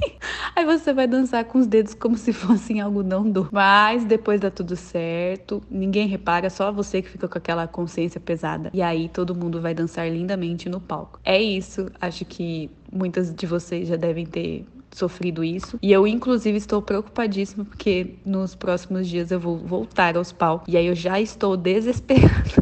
pensando, tem que tirar o esmalte, tem que tirar o esmalte, tem que tirar o esmalte, para não acontecer o, mais uma vez isso que acontece com muita gente. Um beijo, pessoal, até um próximo vídeo, um próximo episódio desse podcast. Gente, eu achei incrível, porque é uma situação que acontece sim, mas eu é, de to todas as que contaram, eu pensei, ah, tá, é isso aí, né, enfim, de aula, de não sei o que. Essa aí é uma que eu não ia pensar em contar, eu amei. E é uma coisa muito comum de acontecer mas assim, eu perdi tudo, tudo, tudo quando ela falou dedo de algodão doce. Eu não sei, esse áudio foi assim, de 8 a 80, assim, entrou numa, no momento que falou do algodão doce, eu fiquei, gente, o que que tá acontecendo? Tá falando de esmalte, na, dedo de algodão doce. Não sei, achei maravilhoso. Mas o que eu ia dizer é que, assim, ó, sendo amiga da Isabela, né, isso é impossível de acontecer, porque, primeiro, que ela dorme aqui em casa, né, antes de todas as apresentações, a Isabela é um pouco obcecada com isso. Não com esmalte, mas coisas de apresentação, tipo brinco, não pode estar com brinco tal, tem que estar com brinco tal. A se usa anel, não pode dançar de anel. A Isabela tá sempre. É a fiscal, né, da apresentação. Daí, como ela dorme aqui em casa antes, ela já me fiscaliza antes de eu ir pro teatro, entendeu? Se eu tô com esmalte, se eu tô com não sei o quê, tudo ela me fala para tirar antes. E ela é a pessoa que leva a acetona e o algodão. Se chegou lá, do nada tem uma menina que tá com esmalte preto, Isabela já chega aqui, ó, fulana, acetona. A, a, a pessoa nem pensa, a Isabela chega, fulana, acetona. Então, assim, ter uma Isabela na sua escola acho que é essencial. Caso vocês não tenham uma, adquiram. Isabela tá sempre prevenida. Mas nossa, gente, juro, eu nunca ia pensar nesse negócio do esmalte. Gente, a gente tá chegando no fim desse episódio. Agora nós temos mais alguns áudios, mas eles são áudios mais curtinhos, porque nem todo mundo uh, conseguiu, né? Eu falei pra vocês, essa ideia que eu tive foi muito em cima da hora, nem todo mundo conseguiu pensar em alguma situação para enviar e tudo. Mas teve gente que mesmo assim quis mandar o seu áudio pra, né, passar aqui, dar um oizinho pra vocês, dar um beijinho, gente que participou de outros episódios, né? A primeira aqui é a Judelbi, ela ela participou de dois episódios nessa temporada. Ela participou do episódio de metas de ano novo e tudo que eu fui eu e ela, a gente fez lá na virada do ano. Um episódio super legal. Não é um episódio válido só pra início de ano, não, tá? Assistam que tá muito bom. A gente fala, nossa, sobre várias coisas muito incríveis. Então vou colocar aqui o áudio da Ju para vocês ouvirem. Oi, gente, tudo bem? Aqui é a Júlia, Júlia Del Bianco, Judelbi. Eu queria mandar um beijo para todo mundo que tá ouvindo aqui o podcast Balena Real legal. E eu queria também agradecer muito a Lu é, pelo convite, pelos esses dois episódios que eu participei e que foi uma temporada linda e eu espero que venham mais muitas temporadas por aí. Um beijo, gente. Até mais. Gente, a, o próximo áudio é da Gi Fioravante. Ela participou do episódio Bailarina Boa e Bailarina Magra. Ela me, me avisou antes de mandar o áudio que ela tava gripada, coitada, tava com uma virose, se não me engano. Ela, aí ela mandou realmente um áudio só mandando um beijinho pra deixar registrado que o negócio, entendeu? Ó, vamos ouvir aqui a Gi. E aí, gente, aqui é a Giovana Fioravante. Eu queria mandar um beijo para todo mundo que acompanhou todos os episódios episódios do podcast da Lu. É, dizer que eu amei participar do podcast, que foi uma experiência única, uma experiência maravilhosa, contar um pouco da minha vida, me abrir para todo mundo e, enfim, eu desejo muito sucesso aí para Lu e um beijo para todo mundo. Gente, que dozinha! Ela tá chega a tá com a voz rouca, dá pra ouvir. Mas esse episódio foi um episódio muito especial mesmo. A gente conversou bastante sobre uh, distúrbios alimentares e tudo. E o último áudio é da parceira da Gi que participou participou do mesmo episódio que ela, que é a Nutri Rafa, Rafa Andrade. Ela não é bailarina, né? A, a Rafa é nutricionista, mas ela não é bailarina. Mas ela mandou um áudio mesmo assim. Mesmo né, que não, não tivesse nenhuma situação para contar para vocês, ela, ela mandou aqui para deixar registrado também para participar do nosso último episódio, ó. Vamos ouvir a Rafa. Oi, oi, bailarinas. Aqui quem fala é a Nutri Rafa Andrade. Tô aqui para mandar um áudio para vocês, para agradecer a minha participação na temporada do, do podcast da Lu e dizer que foi uma honra participar e também contar para vocês que depois que o episódio foi ao ar, muitos de vocês entraram em contato comigo para conversar, para contar a história de vocês com alimentação e dizer que eu tô super disponível para todas as vezes que vocês quiserem conversar ou tirarem dúvidas em relação ao comportamento alimentar, ao que comer, ao que é melhor, uh, vocês podem entrar em contato comigo. Então, Lu, gostaria muito de agradecer mais uma vez a oportunidade de ter participado do podcast e muito obrigada. Gente, tô com medo de ter esquecido de algum áudio, porque foram tantos áudios que o pessoal me mandou que tenho medo de ter perdido algum, mas eu acho que eu toquei todos, tá? De todo mundo que mandou. Claro que ainda tiveram outros convidados que não conseguiram mandar o áudio, porque como eu falei para vocês, a minha ideia ficou muito em cima da hora. Mas eu queria muito, muito, muito agradecer a todos os convidados que participaram desse projeto incrível, que toparam. Enfim, não é um projeto que está acabando, né? Na verdade, essa recém foi a nossa primeira temporada de muitas que estão por vir. Uh, eu tô muito feliz com esse projeto que a gente começou em dezembro do ano passado. Já estamos aí com 20 episódios, já foram né, 20 episódios, quase 40 convidados, se vocês forem pensar, porque cada episódio tem dois, dois convidados, alguns têm um, outros tiveram três, então assim, muita gente. E foi muito especial, tá sendo muito especial toda essa experiência. Tá sendo muito legal para mim, porque eu tô aprendendo muito, assim como eu imagino que vocês também, porque a ideia desse podcast é, que nem a, a Maria Caco falou, né, trazer o balé de uma forma uh, real e trazer de uma forma verdadeira aqui para vocês, expor a realidade mesmo, falar sobre assuntos que nem sempre a gente pode falar ou que muita gente tem dúvida. Trazer isso não só comigo aqui falando, porque eu não sei de tudo, né? Então a gente traz vários convidados especialistas no assunto, pessoas que já passaram por esse tipo de experiência, né? Eh, dependendo de cada tema de episódio, mas que a gente possa cada vez mais contribuir para o conteúdo, né, no mundo da dança e trazer mais informação para vocês. Uh, agora a gente vai tirar uma pausinha de duas semanas, tá? Rapidinho, logo, logo a gente tá de volta. Eu vou reformular um pouco, a gente ainda vai continuar com esses episódios, com vários convidados, enfim. Mas eu quero trazer o conteúdo de uma forma um pouco diferente para vocês, para que a gente possa, né, cada vez mais aí tá evoluindo e fazendo coisas diferentes. E que esse projeto possa cada vez mais crescer e continuar, dar continuidade a todo esse trabalho que tá sendo muito legal para mim. Então,